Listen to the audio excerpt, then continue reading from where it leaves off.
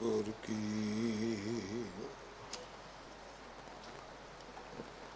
ਜਿਸਨੂੰ ਮਤ ਆਵੇ।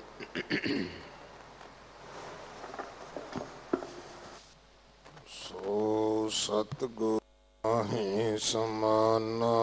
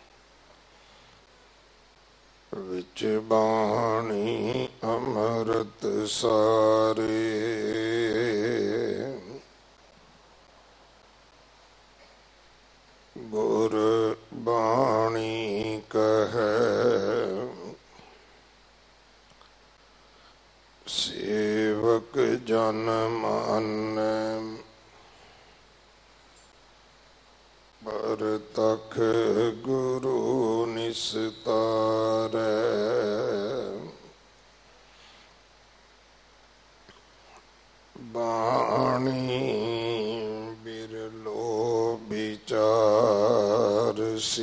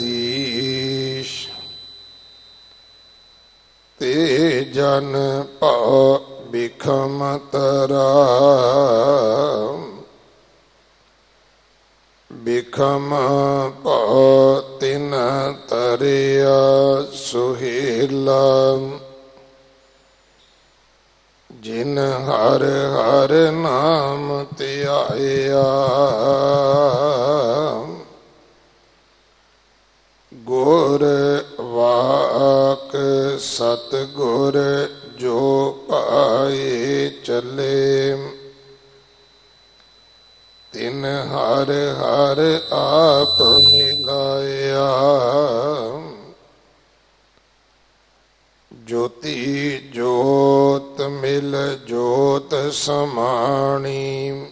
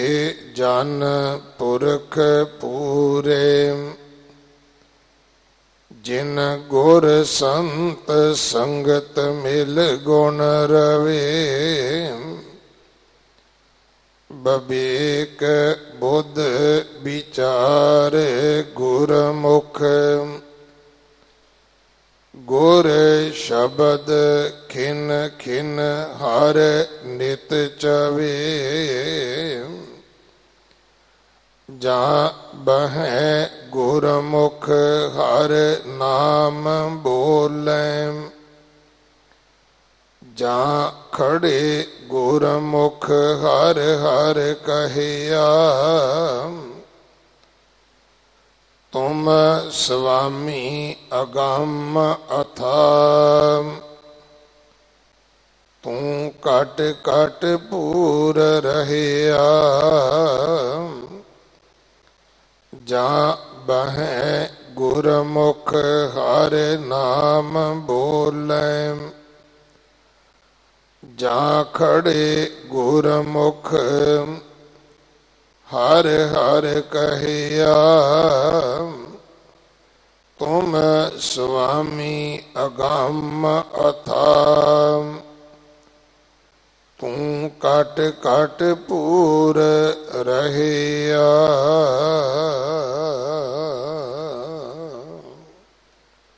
ਵਾਹਿਗੁਰੂ ਜੀ ਕਾ ਖਾਲਸਾ। ਵਾਹਿਗੁਰੂ ਜੀ ਕੀ ਫਤਿਹ। ਤੁਕਾਰੀ ਰਾਗ ਅੰਦਰ ਚੌਥੇ ਪਾਤਸ਼ਾਹ ਜੀ ਦੀ ਬਾਣੀ ਵਿੱਚੋਂ ਇਹ ਦੋ ਪਦੇ ਆਪ ਜੀ ਨੇ ਸਰਵਣ ਕੀਤੇ ਹਨ। ਇਹਨਾਂ ਦੀ ਵਿਚਾਰ ਸਿੰਘ ਸਾਹਿਬ, ਭਾਈ ਜਸਬੀਰ ਸਿੰਘ ਜੀ ਖਾਲਸਾ ਸਾਬਕਾ ਜਥੇਦਾਰ ਸ਼੍ਰੀ ਅਕਾਲ ਤਖਤ ਸਾਹਿਬ ਆਪ ਜੀ ਨੂੰ ਸਰਵਣ ਕਰਵਾਉਣਗੇ। ਦੋ ਦਿਨ ਦਾ ਉਹਨਾਂ ਦਾ ਸਮਾਂ ਹੈ ਸਾਡੇ ਪਾਸ। ਸੰਗਤ ਵੱਲੋਂ, ਪ੍ਰਬੰਧਕ ਸੇਵਾਦਾਰਾਂ ਵੱਲੋਂ ਉਹਨਾਂ ਦਾ ਧੰਨਵਾਦ।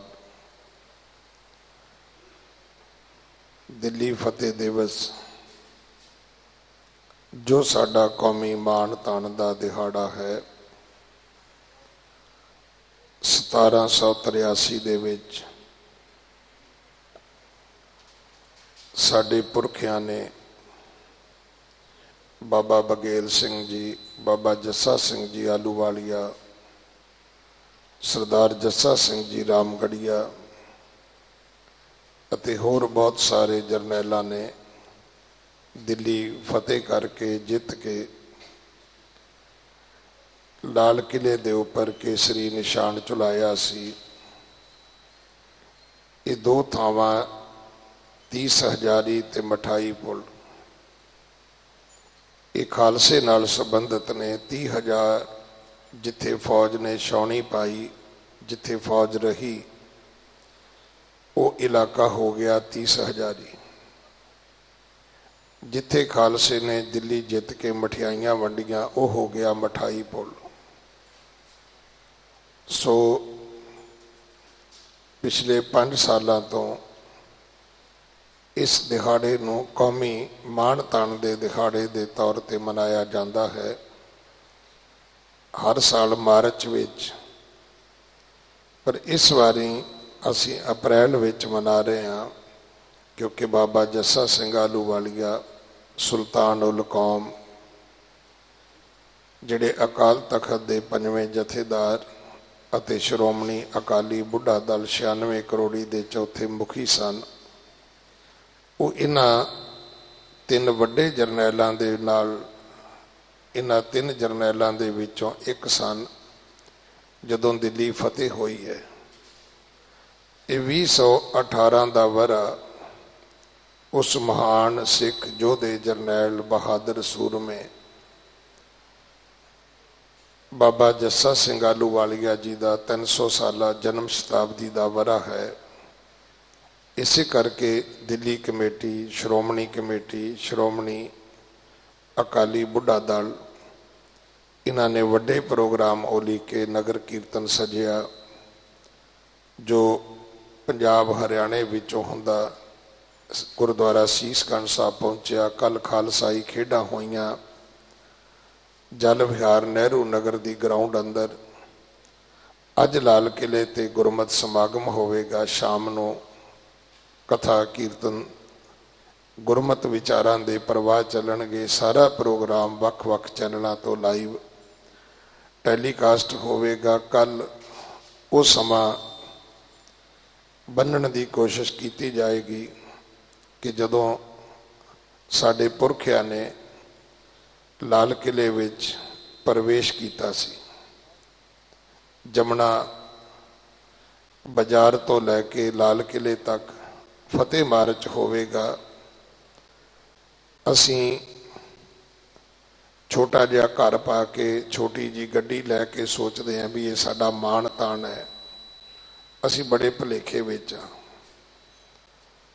ਕੌਮੀ ਮਾਣ ਤਾਣ ਦੇ ਵਿੱਚ ਹੀ ਸਾਡਾ ਮਾਣ ਤਾਣ ਹੈ ਭਾਈ। ਇਸ ਕਰਕੇ ਸਾਰੇ ਕੰਮਾਂ ਨੂੰ ਵਿਰਾਮ ਦੇ ਕੇ ਇਹ ਦਿਨ ਸਾਨੂੰ ਇੱਥੇ ਲਾਲ ਕਿਲੇ ਤੇ ਆ ਕੇ ਮਨਾਉਣਾ ਚਾਹੀਦਾ ਹੈ। ਅਸੀਂ ਦੱਸਦੇ ਵਿੱਚ, ਦੱਸਣ ਵਿੱਚ ਪਿੱਛੇ ਰਹਿ ਗਏ।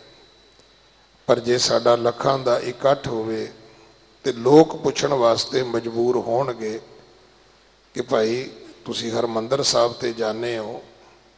ਨਨਕਾਣਾ ਸਾਹਿਬ ਜਾਣੇ ਹੋ, ਤਖਤਾਂ ਤੇ ਜਾਣੇ ਹੋ, ਪਰ ਲਾਲ ਕਿਲੇ ਨਾਲ ਤੁਹਾਡਾ ਕੀ ਸਬੰਧ ਹੈ? ਤੇ ਫਿਰ ਆਪਾਂ ਦੱਸ ਸਕਾਂਗੇ ਉਹਨਾਂ ਨੂੰ ਵੀ ਕਦੇ ਲਾਲ ਕਿਲੇ ਤੇ ਸਾਡਾ ਵੀ ਝੰਡਾ ਝੂਲਦਾ ਸੀ ਭਾਈ। ਗੁਰੂ ਕਾ ਕੇਸਰੀ ਨਿਸ਼ਾਨ ਇੱਥੇ ਖਾਲਸੇ ਨੇ ਚੁਲਾਇਆ ਸੀ, ਤਾਂ ਕਿ ਦੁਨੀਆ ਸਾਨੂੰ ਨਾ ਘੱਟ ਤੋਲੇ, ਨਾ ਛੋਟਾ ਕਰਕੇ ਵੇਖੇ। ਇਹ ਸਾਡੀ ਅਮੀਰ ਤਵਾਰੀਖ ਹੈ। ਇਹ ਗੱਲ ਆਪਾਂ ਨੂੰ ਸਮਝ ਆ ਜਾਣੀ ਚਾਹੀਦੀ ਹੈ ਕਿ ਸਾਡੀਆਂ ਬਾਤਾਂ ਲੋਕਾਂ ਨੇ ਨਹੀਂ ਪਾਉਣੀਆਂ। ਸਾਨੂੰ ਆਪਣੀ ਬਾਤ ਆਪ ਪਾਉਣੀ ਪੈਣੀ ਹੈ। ਆਓ ਦੁਨੀਆ ਨੂੰ ਆਪਣੇ ਮਾਣ ਮੱਤੇ ਇਤਿਹਾਸ ਤੋਂ ਜਾਣੂ ਕਰਵਾਈਏ। ਆਪਣੇ ਅੰਦਰ, ਆਪਣੇ ਬੱਚਿਆਂ ਦੇ ਅੰਦਰ ਇਸ ਮਾਣ ਮੱਤੇ ਇਤਿਹਾਸ ਦਾ ਅਹਿਸਾਸ ਕਰਵਾਈਏ, ਆਪ ਕਰੀਏ। ਕਿ ਅਸੀਂ ਕਿੱਡੀ ਵੱਡੀ ਵਿਰਾਸਤ ਦੇ ਮਾਲਕ ਆ ਤੇ ਗੁਰੂ ਨੇ ਕਿੰਨੀਆਂ ਕਿਰਪਾ ਖਾਲਸੇ ਤੇ ਕੀਤੀਆਂ ਨੇ। ਅਗਲੇ ਸਮੇਂ ਵਾਸਤੇ ਸਿੰਘ ਸਾਹਿਬ ਗੁਰਬਾਣੀ ਵਿਚਾਰ ਸਰਵਣ ਕਰਵਾਉਣਗੇ। ਇਹ ਦੋ ਦਿਨ ਦਾ ਸਮਾਂ ਪੰਥ ਦੇ ਇਸ ਜਾਹੋ ਜਲਾਲ ਵਾਸਤੇ ਆਪ ਜੀ ਸਾਰੇ ਕੱਢੋ। ਵਾਹਿਗੁਰੂ ਜੀ ਕਾ ਖਾਲਸਾ, ਵਾਹਿਗੁਰੂ ਜੀ ਕੀ ਫਤਿਹ। ਸਤਨਾਮ ਜੀ। ਡੰਡੌਤ ਬੰਦਨ ਅਨਕ ਬਾਰ ਸਰਬ ਕਲਾ ਸਮਰੱਥ। ਦੋਲਣ ਤੇ ਰਾਖੋ ਪ੍ਰਭੂ। ਨਾਨਕ ਦੇ ਕਰ ਹੱਥ। ਬਾਣੀ ਗੁਰੂ ਗੁਰੂ ਹੈ ਬਾਣੀ। ਵਿੱਚ ਬਾਣੀ ਅੰਮ੍ਰਿਤ ਸਾਰੇ। ਗੁਰਬਾਣੀ ਕਹੈ, ਸੇਵਕ ਜਨ ਮਾਨੈ ਪਰਤਖ ਗੁਰੂ ਨਿਸਤਾਰੇ। ਫਿਰਤ ਫਿਰਤ ਪ੍ਰਭ ਆਇਆ, ਪਰਿਆ ਤੋ ਸਰਨਾਏ ਨਾਨਕ ਕੀ ਪ੍ਰਭ ਬੇਨਤੀ, ਆਪਣੀ ਭਗਤੀ ਲਾਏ।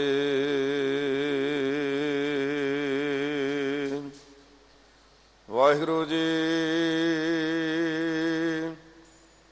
ਤੁਖਾਰੀ ਮਹੱਲਾ ਚੌਥਾ। ਹਰ ਹਰ ਆਗਮ ਆਗਾਦ, ਅਪਰੰਪਰ ਅਪਰਪਰਾ। ਜੋ ਤੁਮ ਧਿਆਵਹਿ ਜਗਦੀਸ਼ ਤੇ ਜਨ ਭਉ ਬਿਖਮ ਤਰਾ। ਹਰ ਹਰ ਆਗਮ ਆਗਾਦ, ਅਪਰੰਪਰ ਅਪਰਪਰਾ ਵਾਹਿਗੁਰੂ ਜੀ ਕਾ ਖਾਲਸਾ, ਵਾਹਿਗੁਰੂ ਜੀ ਕੀ ਫਤਿਹ। ਸਤਿਗੁਰੂ ਗਰੀਬ ਨਵਾਜ, ਪਤਿਤ ਪਾਵਨ ਭਗਤ ਵਛਲ ਕਿਰਪਾ ਦੇ ਖਜ਼ਾਨੇ ਜੁਗੋ ਜੁਗ ਅਟਲ ਸਤਿਗੁਰੂ, ਧੰਨ ਗੁਰੂ ਗ੍ਰੰਥ ਸਾਹਿਬ ਸੱਚੇ ਪਾਤਸ਼ਾਹ ਜੀ ਦੀ ਪਾਵਨ ਪਵਿੱਤਰ ਹਜ਼ੂਰੀ ਅੰਦਰ ਅਠਵੇਂ ਪਾਤਸ਼ਾਹ ਬਾਲਾ ਪ੍ਰੀਤਮ ਸਰਬ ਸ਼ਕਤੀਮਾਨ ਧੰਨ ਧੰਨ ਸਾਹਿਬ ਸ੍ਰੀ ਗੁਰੂ ਹਰਕ੍ਰਿਸ਼ਨ ਸਾਹਿਬ ਸੱਚੇ ਪਾਤਸ਼ਾਹ ਜੀ ਦੇ ਪਾਵਨ ਇਤਿਹਾਸਕ ਸਥਾਨ ਗੁਰਦੁਆਰਾ ਬੰਗਲਾ ਸਾਹਿਬ ਵਿਖੇ ਹਾਜ਼ਰੀਆਂ ਭਰ ਰਹੇ ਗੁਰੂ ਖਾਲਸਾ ਜੀ ਸਤਿਗੁਰੂ ਜੀ ਨੇ ਮਹਾਨ ਕਿਰਪਾ ਕੀਤੀ, ਆਪਾਂ ਨੂੰ ਇਸ ਭਾਗ ਬਖਸ਼ਿਸ਼ ਕੀਤਾ ਹੈ। ਵੱਡਿਆਂ ਭਾਗਾਂ ਨਾਲ ਸੰਗਤਾਂ ਸਤਿਗੁਰੂ ਦੇ ਦਰ ਤੇ ਪਹੁੰਚੀਆਂ ਹਨ। ਕਥਾ ਕੀਰਤਨ ਦਾ ਆਨੰਦ ਮਾਣਿਆ ਹੈ। ਸਤਿਗੁਰੂ ਜੀ ਦਾ ਹੁਕਮ ਹੈ ਜੈਸੋ ਗੁਰੂ ਉਪਦੇਸਿਆ, ਮੈਂ ਤੈਸੋ ਕਹਿਆ ਪੁਕਾਰ। ਨਾਨਕ ਕਹੈ ਸੁਨ ਰੇ ਮਣਾ, ਕਰ ਕੀਰਤਨ ਹੋਏ ਉਧਾਰ। ਜਿਹੜਾ ਕੀਰਤਨ ਕੀਤਿਆਂ ਆਧਾਰ ਹੁੰਦਾ ਹੈ ਜੀਵ ਦਾ ਉਹ ਕੀਰਤਨ ਆਸਾ ਜੀ ਦੀ ਵਾਰ ਦਾ ਸੰਪੂਰਨ ਕੀਰਤਨ ਸਰਵਣ ਕੀਤਾ ਹੈ। ਸਤਿਗੁਰੂ ਦੇ ਦਰਸ਼ਨ ਦੀਦਾਰੇ ਕੀਤੇ ਹਨ। ਸੋ ਸਾਧ ਸੰਗਤ, ਕਥਾ ਦਾ ਸਮਾਂ ਹੈ।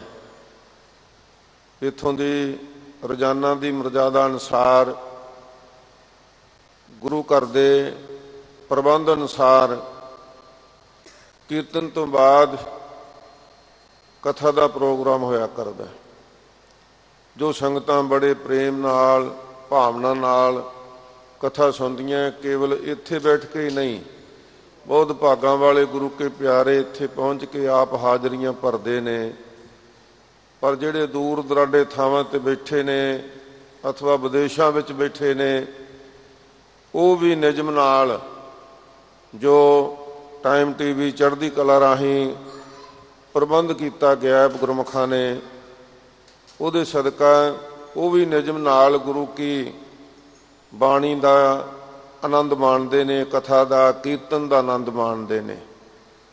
ਸੋ ਅੱਜ ਦਾ ਦਿਹਾੜਾ ਜਿਵੇਂ ਆਪ ਜੀ ਨੇ ਸਿੰਘ ਸਾਹਿਬ ਜੀ ਪਾਸੋਂ ਸਰਵਣ ਕੀਤਾ ਹੈ, ਇਹ ਸਿੱਖ ਕੌਮ ਦੇ ਵਿਲੱਖਣ ਦਿਹਾੜੇ ਨੇ, ਜਿਨ੍ਹਾਂ ਨੂੰ ਅਸੀਂ ਕੁਝ ਸਮੇਂ ਤੋਂ ਪ੍ਰਚਲਿਤ ਕਰਨ ਦਾ ਯਤਨ ਕੀਤਾ ਹੈ।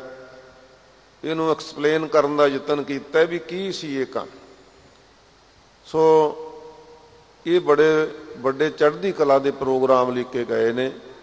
ਮੈਂ ਆਰੰਭ ਵਿੱਚ ਹੀ ਬੇਨਤੀ ਕਰਾਂ, ਇਹ ਕਾਰਜ ਕੇਵਲ ਨਿਹੰਗ ਸਿੰਘਾਂ ਦਾ ਨਹੀਂ, ਜਾਂ ਕੁਝ ਸੰਪਰਦਾਵਾਂ, ਜਾਂ ਕੇਵਲ ਸ਼੍ਰੋਮਣੀ ਗੁਰਦੁਆਰਾ ਪ੍ਰਬੰਧਕ ਕਮੇਟੀ, ਜਾਂ ਦਿੱਲੀ ਸਿੱਖ ਗੁਰਦੁਆਰਾ ਪ੍ਰਬੰਧਕ ਕਮੇਟੀ ਤੱਕ ਸੀਮਿਤ ਨਾ ਰਹੇ ਬਲਕਿ ਪੰਜਾਬ ਤੋਂ ਲੈ ਕੇ ਹਰਿਆਣਾ ਯੂਪੀ ਆਪਾਂ ਬਹੁਤੇ ਦੂਰ ਨਹੀਂ ਬੈਠੇ। ਨੇੜੇ ਨੇੜੇ ਹੀ ਬੈਠੇ ਆ। ਆਪਣੇ ਕੋਲ ਚੰਗੇ ਸਾਧਨ ਹੈ ਸੋ ਆਪਾਂ ਕੋਸ਼ਿਸ਼ ਕਰੀਏ ਕਿ ਵੱਡੀ ਪੱਧਰ ਤੇ ਇਸ ਮਹਾਨ ਸਮਾਗਮ ਵਿੱਚ ਸਮੂਲੀਅਤ ਕਰੀਏ। ਇਹ ਨਾ ਸਮਝੀਏ ਕਿ ਕੇਵਲ ਦਿੱਲੀ ਨਿਵਾਸੀ ਸਿੱਖ ਹੀ ਇਹਦੇ ਵਿੱਚ ਸਮੂਲੀਅਤ ਕਰਨ। ਇਹ ਤੇ ਕਰਨਗੇ ਹੀ ਭਾਈ। ਹਰ ਸਾਲ ਹੀ ਕਰਦੇ ਨੇ ਔਰ ਹਰ ਸਾਲ ਉਤਸ਼ਾਹ ਵੱਧਦਾ ਹੈ, ਜਾਹੋ ਜਲਾਲ ਵੇਖਣ ਨੂੰ ਮਿਲਦਾ ਹੈ। ਪਰ ਆਪਾਂ ਕੋਸ਼ਿਸ਼ ਕਰੀਏ ਕਿ ਦੂਰ ਤੱਕ ਇਲਾਕਿਆਂ ਤੋਂ, ਕਿਉਂਕਿ ਬਾਬਾ ਬਗੇਲ ਸਿੰਘ ਦਾ, ਬਾਬਾ ਜੱਸਾ ਸਿੰਘ ਦਾ, ਨਵਾਬ ਕਪੂਰ ਸਿੰਘ ਦਾ, ਜੱਸਾ ਸਿੰਘ ਰਾਮਗੜੀਏ ਦਾ, ਭਾਈ ਮਹਾ ਸਿੰਘ ਦਾ, ਇਹ ਜਿਹੜੇ ਸਿੱਖ ਸਰਦਾਰ ਜਰਨੈਲ ਹੋਏ ਨੇ, ਇਹਨਾਂ ਦਾ ਸਬੰਧ ਕੇਵਲ ਦਿੱਲੀ ਨਾਲ ਹੈ। ਕਿਉਂਕਿ ਦਿੱਲੀ ਇੱਕ ਕੇਂਦਰੀ ਸਥਾਨ ਸੀ। ਹਿੰਦ ਦੀ ਰਾਜਧਾਨੀ ਸੀ। ਇੱਥੇ ਫਤਿਹ ਕਰਨ ਦੇ ਨਾਲ ਦੁਨੀਆ ਦੇ ਵਿੱਚ ਸਿੱਖਾਂ ਦਾ ਪਰਪੰਚ ਝੂਲਦਾ ਨਜ਼ਰ ਆਇਆ। ਸੋ ਜਿਹਦੇ ਬਾਰੇ ਬੜੀਆਂ ਖੁੱਲੀਆਂ ਵਿਚਾਰਾਂ ਸ਼ਾਮ ਨੂੰ ਵੀ ਹੋਣੀਆਂ, ਸਵੇਰੇ ਵੀ ਹੋਣੀਆਂ, ਅਥਵਾ ਦੋ ਦਿਨ, ਤਿੰਨ ਤੋਂ ਇਸ ਸਥਾਨ ਤੋਂ ਵੀ ਹੋ ਰਹੀਆਂ। ਕਿਉਂਕਿ ਸਮਾਂ ਬੜਾ ਸੀਮਤ ਹੁੰਦਾ ਹੈ।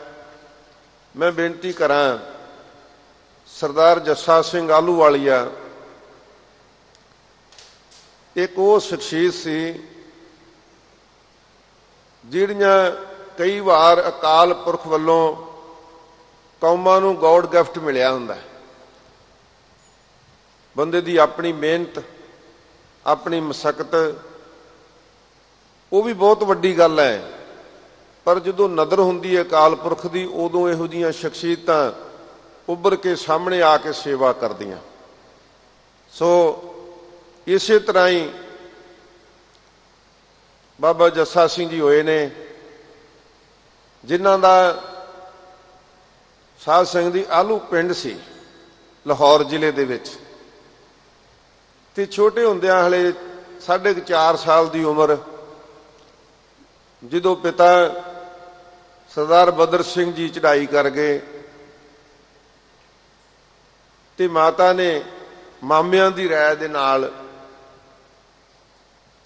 ਇਸ ਬੱਚੇ ਨੂੰ ਮਾਤਾ ਸੁੰਦਰ ਕੌਰ ਜੀ ਕੋਲ ਇੱਥੇ ਦਿੱਲੀ ਵਿਖੇ ਲਿਆ ਕੇ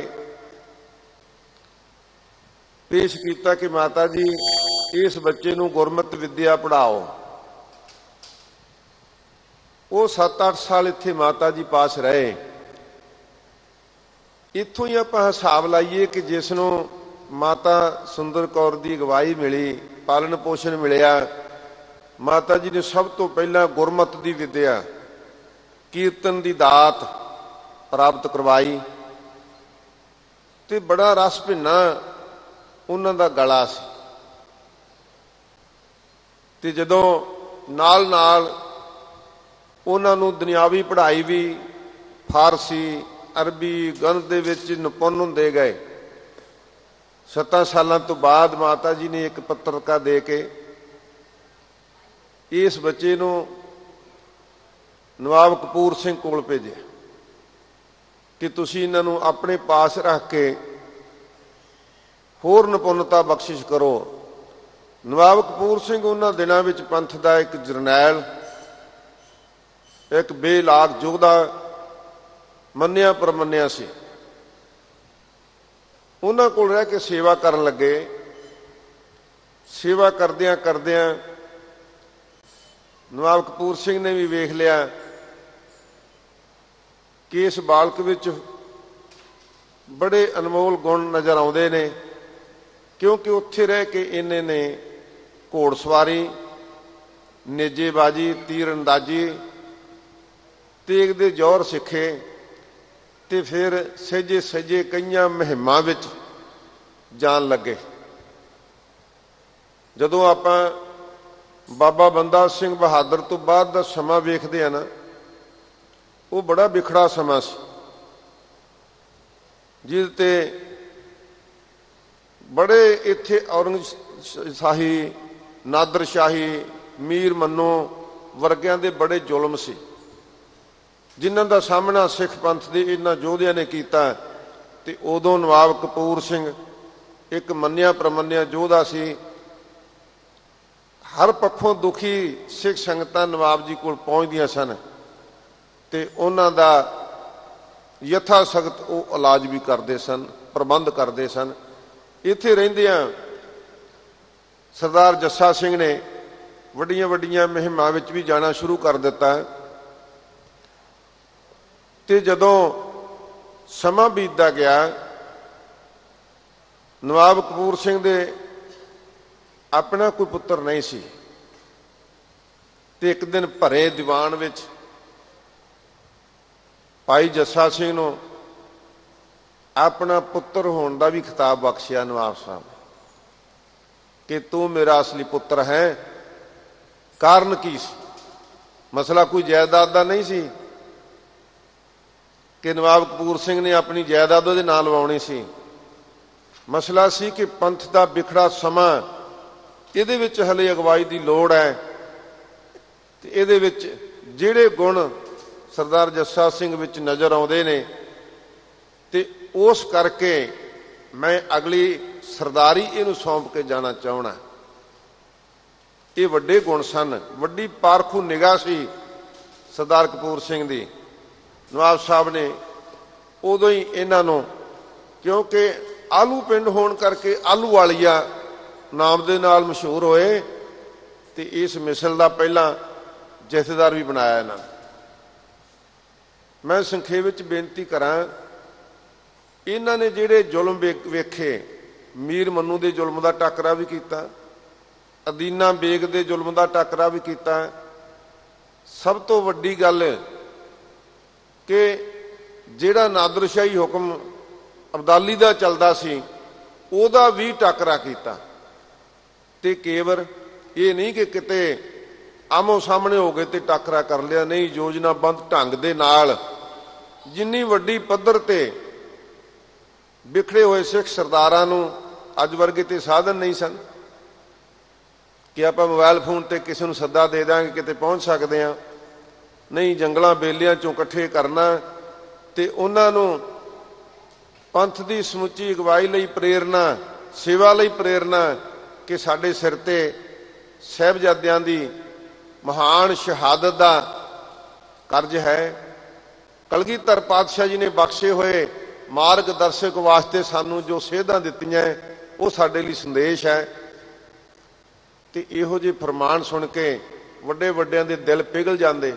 ਮਨ ਵਿੱਚੋਂ ਈਰਖਾ ਖਤਮ ਹੋ ਜਾਂਦੀ, ਦਵੈਸ਼ ਖਤਮ ਹੋ ਜਾਂਦੀ। ਜਿਹੜਾ ਕੁਝ ਅੱਜ ਅਸੀਂ ਦੇਖਦੇ ਆ ਨਾ, ਕਿ ਹੰਨੇ ਹੰਨੇ ਸਰਦਾਰੀ ਕਿ ਉਦੋਂ ਕਿਹੜਾ ਨਹੀਂ ਸੀ? ਉਦੋਂ ਵੀ ਸੀਗੇ। ਪਰ ਜਿਹੜੇ ਪ੍ਰਮੁੱਖ ਜਰਨੈਲ ਸਨ, ਉਹਨਾਂ ਦੇ ਮਨ ਵਿੱਚ ਆਪਾ ਉਭਾਰਨ ਦੀ ਲਾਲਸਾ ਨਹੀਂ ਸੀ। ਪੰਥ ਦੀ, ਕੌਮ ਦੀ ਸੇਵਾ ਕਰਨ ਦੀ ਲਾਲਸਾ ਸੀ। ਤੇ ਜਦੋਂ ਕਿਤੇ ਯੁੱਧਾਂ ਦਾ ਸਮਾਂ ਆਉਂਦਾ, ਤੇ ਉਹ ਅੱਗੇ ਹੋ ਕੇ ਯੁੱਧ ਲੜਦੇ ਸੀ। ਆਪਣੇ ਯੋਧਿਆਂ ਨੂੰ ਪਿਛਾਂ ਰੱਖਦੇ ਸਨ, ਤੁਸੀਂ ਪਿੱਛੇ ਰਹੋ। ਅਸੀਂ ਤੁਹਾਡੇ ਮੂਹਰੇ ਹੋ ਕੇ ਕਿਉਂਕਿ ਸਾਨੂੰ ਤਜਰਬਾ ਹੈ। ਅਸੀਂ ਯੁੱਧ ਦਾ ਸਾਰਾ ਮਿਸ਼ਨ ਸਿੱਖਿਆ ਹੋਇਆ ਹੈ। ਯੁੱਧ ਦੇ ਕਰਤੱਵ ਸਿੱਖੇ ਹੋਏ ਨੇ। ਇਸ ਵਾਸਤੇ ਤੁਸੀਂ ਚਿੰਤਾ ਨਾ ਕਰੋ। ਇਤਿਹਾਸ ਦੱਸਦਾ ਹੈ, ਜਦੋਂ ਕੋਪਰ ਹੀੜੇ ਦਾ ਯੁੱਧ ਹੋਇਆ ਹੈ, ਜਿਸ ਨੂੰ ਵੱਡਾ ਘਲੂਘਾਰਾ ਕਿਹਾ ਜਾਂਦਾ ਹੈ, ਜਿੱਥੇ 35000 ਸਿੱਖਾਂ ਦਾ ਯੁੱਧ ਦੇ ਵਿੱਚ ਕਤਲ ਹੋ ਗਿਆ ਸੀ, ਸ਼ਹੀਦ ਹੋ ਗਏ ਸਨ। ਉਦੋਂ 21 22 ਫੱਟ ਲੱਗੇ ਸਰਦਾਰ ਜੱਸਾ ਸਿੰਘ। ਨੂੰ ਇਥੋਂ ਤੱਕ ਕਿ ਯੁੱਧ ਲੜਦਿਆਂ ਹੋਇਆ ਮੈਦਾਨੇ ਜੰਗ ਵਿੱਚੋਂ ਨਹੀਂ ਹਟੇ, ਜਦੋਂ ਪੱਟ ਦੇ ਉੱਪਰ ਵੱਡਾ ਫੱਟ ਲੱਗਾ ਤੇ ਆਪਣਾ ਕਮਰ ਕਸਾ ਕਾਠੀ ਦੇ ਨਾਲ ਉਸ ਪੱਟ ਨੂੰ ਬੰਨ ਕੇ ਯੁੱਧ ਲੜਦੇ ਰਹੇ। ਸਾਧ ਸੰਗਤ ਇਹੋ ਜੇ ਮੌਤ ਤੋਂ ਬੇਖੌਫ ਯੋਧੇ ਸੂਰਮੇ ਹੋਏ ਨੇ। ਸੇ ਜਦੋਂ ਸ਼ਾਮਾਂ ਪਈਆਂ, ਫਿਰ ਵੀ ਸਿੱਖ ਸਰਦਾਰਾਂ ਨੂੰ ਕਿਹਾ ਕਿ ਮੈਨੂੰ ਇਸ ਘੋੜੇ ਦੀ ਕਾਠੀ ਤੋਂ ਲਾਉਣ ਵੇਲੇ ਇੱਕ ਖਿਆਲ ਰੱਖਿਓ ਕਿ ਸ਼ਾਇਦ ਮੈਂ ਸਦਾ ਲਈ ਇਸ ਘੋੜੇ ਦੀ ਕਾਠੀ ਤੋਂ ਲੱਥ ਜਾਵਾਂ। ਵੱਡੇ ਫੱਟ ਨੇ, ਪਰ ਸਿੱਖਾਂ ਨੇ ਅਰਦਾਸਾਂ ਕੀਤੀਆਂ, ਇਲਾਜ ਕਰਾਇਆ। ਸਰਦਾਰ ਜੱਸਾ ਸਿੰਘ ਉਥੋਂ ਬਚ ਗਏ। ਇੰਨੇ ਫੱਟਾਂ ਦੇ ਬਾਵਜੂਦ ਵੀ ਬਚ ਗਏ। ਸਾਧ ਸੰਗਤ ਇਹੋ ਜੀ ਅਗਵਾਈ ਤੇ ਫਿਰ ਇੱਕ ਬੜੀ ਵੱਡੀ ਮਿਸਾਲ ਮਿਲਦੀ। ਜਦੋਂ ਦਿੱਲੀ ਫਤਿਹ ਕੀਤੀ ਉਦੋਂ ਵੀ ਨਵਾਬ ਕਪੂਰ ਸਿੰਘ ਦੀ ਅਗਵਾਈ ਸੀ। ਪਰ ਜਦੋਂ ਮਸਲਾ ਆਇਆ ਕਿ ਇੱਥੋਂ ਦਾ ਬਾਦਸ਼ਾਹ ਕਿਹਨੂੰ ਥਾਪਿਆ ਜਾਏ, ਕਿਉਂਕਿ ਉਦੋਂ ਤੇ ਹਲੇ 22 23 ਸਾਲ ਦੀ ਉਮਰ ਸੀ ਜਦੋਂ ਲਾਹੌਰ ਫਤਿਹ ਕੀਤਾ ਸੀ। ਸੁਲਤਾਨ ਉਲ ਦਾ ਖਿਤਾਬ ਤਾਂ ਉਦੋਂ ਹੀ ਮਿਲ ਗਿਆ ਸੀ। ਪਰ ਉਦੋਂ ਬਾਅਦ ਜਿੰਨੇ ਕਾਰਨਾਮੇ ਕੀਤੇ, ਜਿੰਨੇ ਬਹਾਦਰੀ ਨਾਲ ਜ਼ੋਰ ਦਿਖਾਏ, ਯੁੱਧ ਲੜੇ, ਪੰਥ ਲਈ ਘਾਲਣਾ ਘਾਲੀ ਤੇ ਸਮੁੱਚੇ ਪੰਥ ਵਿੱਚ ਬੜੀ ਹਮਦਰਦੀ ਸੀ ਸਰਦਾਰ ਜੱਸਾ ਸਿੰਘ ਲਈ। ਤੇ ਜਦੋਂ ਇੱਥੇ ਉਹਨਾਂ ਨੂੰ ਦਿੱਲੀ ਦਾ ਬਾਦਸ਼ਾਹ ਥਾਪਣ ਵਾਸਤੇ ਵਿਚਾਰਾਂ ਹੋਈਆਂ, ਤੇ ਫਿਰ ਸਿੱਖ ਜਰਨੈਲਾਂ ਵਿੱਚ ਅੰਦਰ ਖਾਤੇ ਥੋੜੀ ਜੀ ਵਿਰੋਧਤਾ ਹੋਈ ਵੀ ਇਥੋਂ ਦਾ ਜਰਨੈਲ ਕੋਈ ਇਥੋਂ ਦਾ ਬਾਦਸ਼ਾਹ ਹੋਰ ਥਾਪਣਾ ਚਾਹੀਦਾ। ਤੇ ਸਰਦਾਰ ਜੱਸਾ ਸਿੰਘ ਨੇ ਉਸੇ ਵੇਲੇ ਆਪਣੇ ਆਪ ਨੂੰ ਪਿੱਛੇ ਕਰ ਲਿਆ, ਕਿਉਂਕਿ ਨਿੱਜ ਤੋਂ ਬੜੇ ਉੱਪਰ ਸਨ। ਵੀ ਨਹੀਂ ਜਿਹਨੂੰ ਖਾਲਸਾ ਪੰਥ ਚਾਹੁੰਦਾ ਹੈ, ਉਹਨੂੰ ਆਪਾਂ ਨਵਾਬੀਆਂ ਦੋ ਉਹ ਕੌਮ ਦੀ ਸੇਵਾ ਕਰੇਗਾ। ਸਾਧ ਸੰਗਤ ਜੀ, ਇਹੋ ਜੇ ਤਿਆਗੀ ਗੁਰਸਿੱਖ ਸਨ ਇਹ। ਤੇ ਜਿਨ੍ਹਾਂ ਨੇ ਜਦੋਂ ਇੱਥੇ ਕੇਸਰੀ ਨਿਸ਼ਾਨ ਸਾਹਿਬ ਚਲਾਇਆ, ਜਿਵੇਂ ਸਿੰਘ ਸਾਹਿਬ ਨੇ ਦੱਸਿਆ, ਫਿਰ ਖਾਲਸੇ ਨੇ ਖੁਸ਼ੀਆਂ ਮਨਾਈਆਂ ਗੱਤਕੇ ਬਾਜੀ ਹੋਈ, ਮਠਿਆਈਆਂ ਵੰਡੀਆਂ ਗਈਆਂ, ਉਹ ਸਮਾਂ ਕਿਉਂ ਜਾਏ? ਦੁਨੀਆ ਕਿਸ ਤਰ੍ਹਾਂ ਦੇਖਦੀ ਹੋਏਗੀ ਸਿੱਖ ਪੰਥ ਨੂੰ, ਸਿੱਖ ਸਰਦਾਰਾਂ ਨੂੰ, ਸਿੱਖ ਜਰਨੈਲਾਂ ਨੂੰ, ਸਿੱਖ ਰਾਜ ਪ੍ਰਬੰਧਕ ਨੂੰ, ਸਿੱਖ ਯੋਧਿਆਂ ਨੂੰ ਕਿਸ ਢੰਗ ਨਾਲ ਤੱਕਦੀ ਹੋਏਗੀ? ਕਿ ਇਹ ਲਾਲ ਕਿਲਾ ਜਿੱਥੇ ਮੁਗਲਾਂ ਦਾ 7 ਸਦੀਆਂ ਰਾਜ ਰਿਹਾ ਇਹ ਹਿੰਦੁਸਤਾਨ ਜਿਹਦੀ ਬੰਤ ਨੂੰ ਬੰਤਰ ਨੂੰ ਬਰਕਰਾਰ ਰੱਖਣ ਵਾਸਤੇ ਧੰਨ ਗੁਰੂ ਤੇਗ ਬਹਾਦਰ ਸਾਹਿਬ ਸੱਚੇ ਪਾਤਸ਼ਾਹ ਜੀ ਨੇ ਸ਼ਹਾਦਤ ਦਿੱਤੀ। ਜਿਹਦੀ ਬੰਤਰ ਨੂੰ ਸਲਾਮਤ ਰੱਖਣ ਵਾਸਤੇ ਭਾਈ ਦਿਆਲਾ ਜੀ ਨੇ, ਭਾਈ ਮਤੀ ਦਾਸ ਜੀ ਨੇ, ਭਾਈ ਸਤੀ ਰਾਮ ਜੀ ਨੇ ਸ਼ਹਾਦਤਾਂ ਦਿੱਤੀਆਂ। ਇਹ ਸ਼ਹਾਦਤਾਂ ਇਹਨਾਂ ਸਿੱਖ ਜਰਨੈਲਾਂ ਦੇ ਸਨਮੁਖ ਖੜੀਆਂ ਸਨ, ਜਿਨ੍ਹਾਂ ਤੋਂ ਸੇਧ ਲੈ ਕੇ ਵੱਡੀਆਂ ਤੇਗਾਂ ਮਾਰੀਆਂ ਇਹਨਾਂ ਨੇ ਤੇ ਦੁਨੀਆ ਦੇ ਇੱਕ ਨਾਮ ਪੈਦਾ ਕੀਤਾ। ਇਹ ਇਤਿਹਾਸ ਵਿੱਚ ਸਿਰਜਿਆ ਰਹੇਗਾ। ਇਹ ਵੱਖਰੀ ਗੱਲ ਹੈ ਕਿ ਸਾਡੀ ਵੱਡੀ ਅਣਗਹਿਲੀ ਜਿਹਦੇ ਕਰਕੇ ਅਸੀਂ ਇਸ ਗੱਲ ਨੂੰ, ਇਸ ਸਾਕੇ ਨੂੰ, ਇਸ ਸੁਨਹਿਰੀ ਇਤਿਹਾਸ ਨੂੰ ਦੁਨੀਆ ਵਿੱਚ ਦੱਸ ਹੀ ਨਹੀਂ ਸਕੇ, ਪ੍ਰਚਾਰ ਨਹੀਂ ਸਕੇ। ਪਿਛਲੇ 5 ਸਾਲਾਂ ਤੋਂ ਦਿੱਲੀ ਸਿੱਖ ਗੁਰਦੁਆਰਾ ਪ੍ਰਬੰਧਕ ਕਮੇਟੀ ਸਰਦਾਰ ਮਨਜੀਤ ਸਿੰਘ, ਇਹਨਾਂ ਦਾ ਸੁ- ਸਮੁੱਚੀ ਜਥੇਬੰਦੀ, ਜਿਨ੍ਹਾਂ ਨੇ ਬੜੇ ਚੰਗੇ ਫੈਸਲੇ ਲਏ। ਦੇਖੋ ਵਿਰੋਧ ਹਰ ਗੱਲ ਦਾ ਹੁੰਦਾ ਹੈ। ਪਰ ਇਸ ਗੱਲ ਲਈ ਦੁਨੀਆ ਭਰ ਦੇ ਸਿੱਖਾਂ ਨੇ ਸਲਾਇਆ ਕਿ ਇਹ ਇੱਕ ਵੱਡਾ ਕਾਰਨਾਮਾ ਜਿਹੜਾ ਸਿੱਖ ਜਰਨੈਲਾਂ ਨੇ ਕੀਤਾ ਸੀ। ਦਿੱਲੀ ਫਤਿਹ ਕਰਕੇ ਇੱਥੇ ਲਾਲ ਕਿਲੇ ਤੇ ਨਿਸ਼ਾਨ ਸਾਹਿਬ ਚਲਾਏ ਸਨ। ਉਹ ਤੇ ਉਸ ਇਤਿਹਾਸ ਨੂੰ ਸਾਡੇ ਬੱਚੇ ਕਿਵੇਂ ਜਾਣ ਸਕਦੇ ਸਨ? ਅੱਜ ਦੀ ਜਨਰੇਸ਼ਨ ਕਿਵੇਂ ਜਾਣੇਗੀ? ਇਸ ਕਰਕੇ ਇਹ ਦਿੱਲੀ ਗੁਰਦੁਆਰਾ ਪ੍ਰਬੰਧਕ ਕਮੇਟੀ ਨੇ ਜਿਹੜਾ ਇਹ ਉਪਰਾਲਾ ਕੀਤਾ ਹੈ, ਇਹ ਬਹੁਤਾ ਹੀ ਸ਼ਲਾਘਾਯੋਗ ਉਪਰਾਲਾ ਇਸ ਲਈ ਹਰ ਗੱਲ ਤੋਂ, ਹਰ ਨਿੱਜੀ ਵਿਰੋਧ ਤੋਂ, ਨਿੱਜੀ ਨਿੱਜ ਤੋਂ ਉੱਪਰ ਉੱਠ ਕੇ ਸਾਨੂੰ ਇਹਦੇ ਵਿੱਚ ਸਹਿਯੋਗ ਕਰਨਾ ਚਾਹੀਦਾ ਹੈ, ਸਮੂਲੀਅਤ ਕਰਨੀ ਚਾਹੀਦੀ ਹੈ, ਤਾਂ ਕਿ ਦੁਨੀਆ ਦੇਖੇ ਸਾਡੇ ਵਿਰੋਧੀ ਖਾਸ ਕਰਕੇ ਦੇਖਣ ਵੀ ਉਹੀ ਸਿੱਖ ਨੇ, ਜਿਨ੍ਹਾਂ ਨੇ ਕਦੇ ਦਿੱਲੀ ਫਤਿਹ ਕੀਤੀ। ਇਹ ਸਿੱਖ ਉਹੀ ਨੇ ਜਿਹੜੇ ਅੱਜ ਭਾਰੀ ਸਬਰ ਵਿੱਚ ਰਹਿ ਕੇ ਆਜ਼ਾਦ ਹਿੰਦੁਸਤਾਨ ਦੇ ਵਿੱਚ 93% ਸ਼ਹਾਦਤਾਂ ਦੇਣ ਵਾਲੇ, ਕਾਲੇ ਪਾਣੀਆਂ ਦੀਆਂ ਜੇਲ੍ਹਾਂ ਕੱਟਣ ਵਾਲੇ, ਫਾਂਸੀਆਂ ਦੇ ਰੱਸੇ ਚੁੰਮਣ ਵਾਲੇ, ਅੱਜ ਆਪਣੇ ਅਧਿਕਾਰਾਂ ਨੂੰ ਡੈਮੋਕ੍ਰੈਟਿਕ ਢੰਗ ਦੇ ਨਾਲ ਮੰਗਣ ਲਈ ਗਲੀਆਂ 'ਚ ਫਿਰਦੇ ਨੇ, ਸੜਕਾਂ ਤੇ ਫਿਰਦੇ ਨੇ। ਉਹਨਾਂ ਨੂੰ ਸਮਝ ਆਏਗੀ ਕਿ ਇਹ ਤਾਜਾਂ ਤਖਤਾਂ ਦੇ ਮਾਲਕ, ਗੁਰੂ ਕੀ ਕੌਮ, ਗੁਰੂ ਕਾ ਖਾਲਸਾ ਇਹਨਾਂ ਦਾ ਸਬਰ ਕਿੰਨਾ ਕੁ ਪਰਖਿਆ ਜਾ ਸਕਦਾ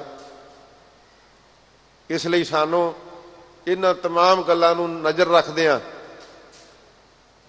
ਆਪਣੇ ਆਉਣ ਵਾਲੇ ਭਵਿੱਖ ਨੂੰ ਸੁਨਹਿਰੀ ਬਣਾਉਣ ਵਾਸਤੇ ਇਸ ਇਤਿਹਾਸ ਨੂੰ ਸਾਹਮਣੇ ਰੱਖਦਿਆਂ ਸਾਨੂੰ ਆਪਣੇ ਕੰਮਾਂ ਕਾਰਾਂ ਨੂੰ ਛੱਡ ਕੇ ਇਹ ਦਿਨ ਖਾਲਸਾ ਪੰਥ ਲਈ ਬਲਕਿ ਆਪਣੇ ਆਪ ਲਈ ਆਪਣੀ ਵਿਰਾਸਤ ਲਈ ਆਪਣੀ ਆਉਣ ਵਾਲੀ ਜਨਰੇਸ਼ਨ ਲਈ ਕੱਢ ਕੇ ਸਾਨੂੰ ਸਾਰਿਆਂ ਨੂੰ ਇਸ ਵੱਡੇ ਪ੍ਰੋਗਰਾਮ ਵਿੱਚ ਸਮੂਲੀਅਤ ਕਰਨੀ ਚਾਹੀਦੀ ਆ।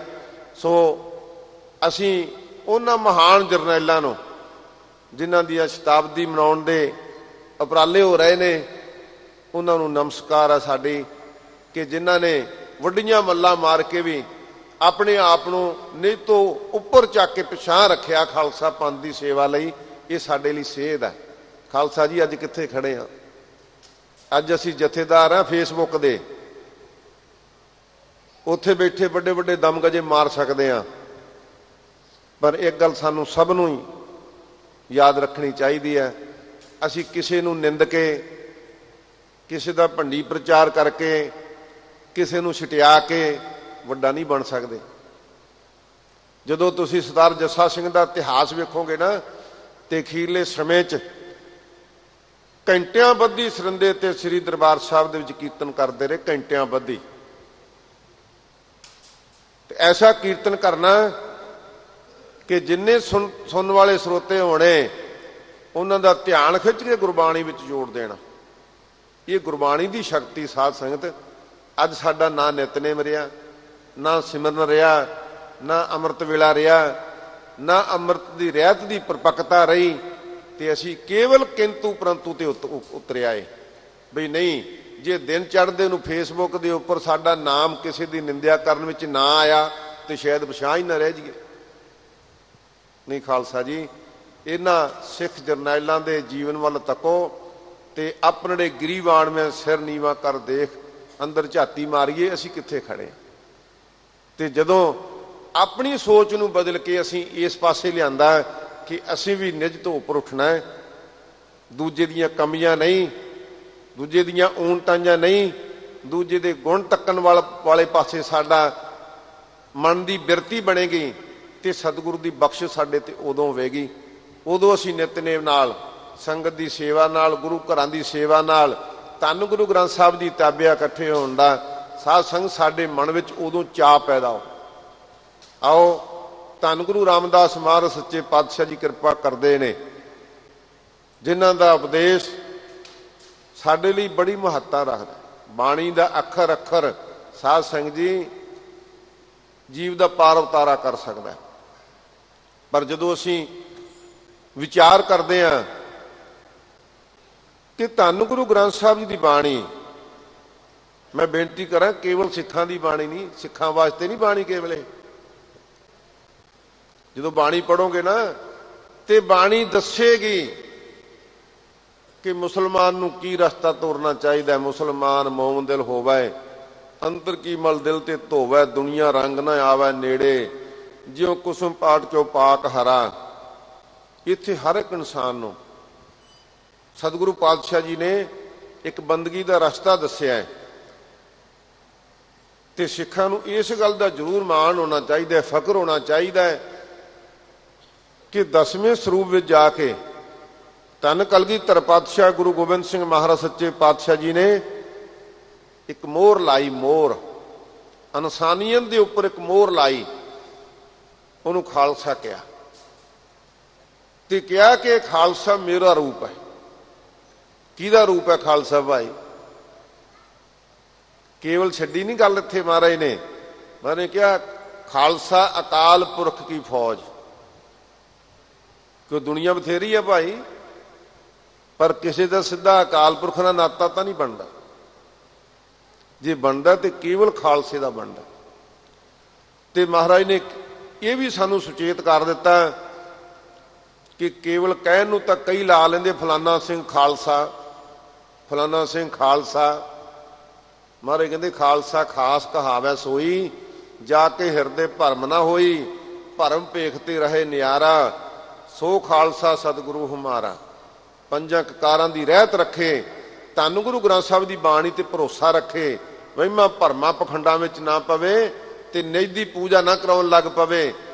ਧੰਨ ਗੁਰੂ ਗ੍ਰੰਥ ਸਾਹਿਬ ਦੀ ਬਾਣੀ ਦਾ ਪੁਜਾਰੀ ਬਣੇ, ਸ਼ਬਦ ਦਾ ਪੁਜਾਰੀ ਬਣੇ, ਉਹ ਖਾਲਸਾ ਹੈ। ਸੋ ਇਸ ਵਾਸਤੇ ਸਤਿਗੁਰੂ ਪਾਤਸ਼ਾਹ ਜੀ ਨੇ ਸਾਡੇ ਲਈ ਇਹ ਮਹਾਨ ਉਪਦੇਸ਼ ਦਿੱਤਾ ਹੈ ਤੇ ਜੇ ਸਾਧ ਸੰਗਤ ਕਲਗੀਧਰ ਪਾਤਸ਼ਾਹ ਦਾ ਹੁਕਮ ਲੈ ਕੇ ਸੇਧ ਲੈ ਕੇ, ਉਪਦੇਸ਼ ਲੈ ਕੇ ਜਾਣਦਿਆਂ ਹੋਇਆਂ ਖਾਲਸੇ ਨਾ ਸਜੀਏ, ਖਾਲਸੇ ਸਜ ਕੇ ਵੀ ਖਾਲਸਿਆਂ ਵਾਲੀ ਰਹਿਤ ਨਾ ਰੱਖੀਏ, ਖਾਲਸਿਆਂ ਵਾਲੇ ਜੀਵਨ ਤੇ ਨਾ ਆਈਏ। ਕਲਗੀਧਰ ਪਾਤਸ਼ਾਹ ਦੇ ਪੁੱਤਰ ਕਿਵੇਂ ਬਣਾਂਗੇ? ਨਹੀਂ ਮਹਾਰਾਜ, ਸੱਚੇ ਪਾਤਸ਼ਾਹ ਦਾ ਹੁਕਮ ਹੈ, ਸਤਿਗੁਰੂ ਨੇ ਇੱਕ ਇੱਕ ਗੱਲ ਨੂੰ ਪ੍ਰੈਕਟੀਕਲ ਰੂਪ ਵਿੱਚ ਦਰਸਾਉਂਦਿਆਂ ਹੋਇਆਂ ਸਤਿਗੁਰੂ ਨੇ ਤੇ ਇਹ ਬਚਨ ਵੀ ਕਹਿ ਦਿੱਤੇ ਸਨ। ਇਨ ਪੁੱਤਰਨ ਕੇ ਸੀਸ ਪਰ ਵਾਰ ਦੀਏ ਸੁਤ ਚਾਰ ਚਾਰ ਮੂਏ ਤੋਂ ਕਿਹਾ ਪਿਆ? ਜੀਵਤ ਲੱਖ ਹਜ਼ਾਰਾਂ, ਲੱਖਾਂ ਹਜ਼ਾਰਾਂ ਮੇਰੇ ਪੁੱਤਰ ਨੇ। ਕਦੋਂ ਪ੍ਰਤੀਤ ਆਏਗੀ ਸਨ ਭਰੋਸਾ ਕਿਵੇਂ ਆਵੇ? ਉਦੋਂ ਆਏਗਾ ਜਦੋਂ ਅਸੀਂ ਖੁਦ ਆਪਣੇ ਆਪ ਨੂੰ ਧੰਨ ਗੁਰੂ ਗ੍ਰੰਥ ਸਾਹਿਬ ਦੀ ਬਾਣੀ ਨਾਲ ਜੋੜਾਂਗੇ।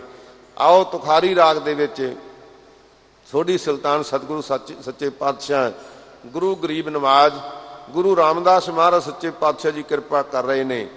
ਹਰ ਹਰ ਅਗਮ ਅਗਾਧ ਅਪਰੰਪਰ ਅਪਰਪਰਾ। ਸਤਿਗੁਰੂ ਜੀ ਫਰਮਾਉਂਦੇ ਨੇ ਕਿ ਜਿਹੜਾ ਅਕਾਲ ਪੁਰਖ ਵਾਹਿਗੁਰੂ ਹੈ, ਉਹ, ਉਹਦੀ ਗਮਤਾ ਨਹੀਂ। ਉਹ ਸਾਡੇ ਬੁੱਧੀ ਦੇ ਖਿਆਲਾਂ ਤੋਂ, ਬੁੱਧੀ ਦੇ ਫੁਰਨਿਆਂ ਤੋਂ, ਬੁੱਧੀ ਦੀ ਸੋਚ ਤੋਂ ਪਰੇ ਆ ਕਿੱਡਾ ਵੱਡਾ ਉਪਦੇਸ਼ ਹੈ ਭਾਈ।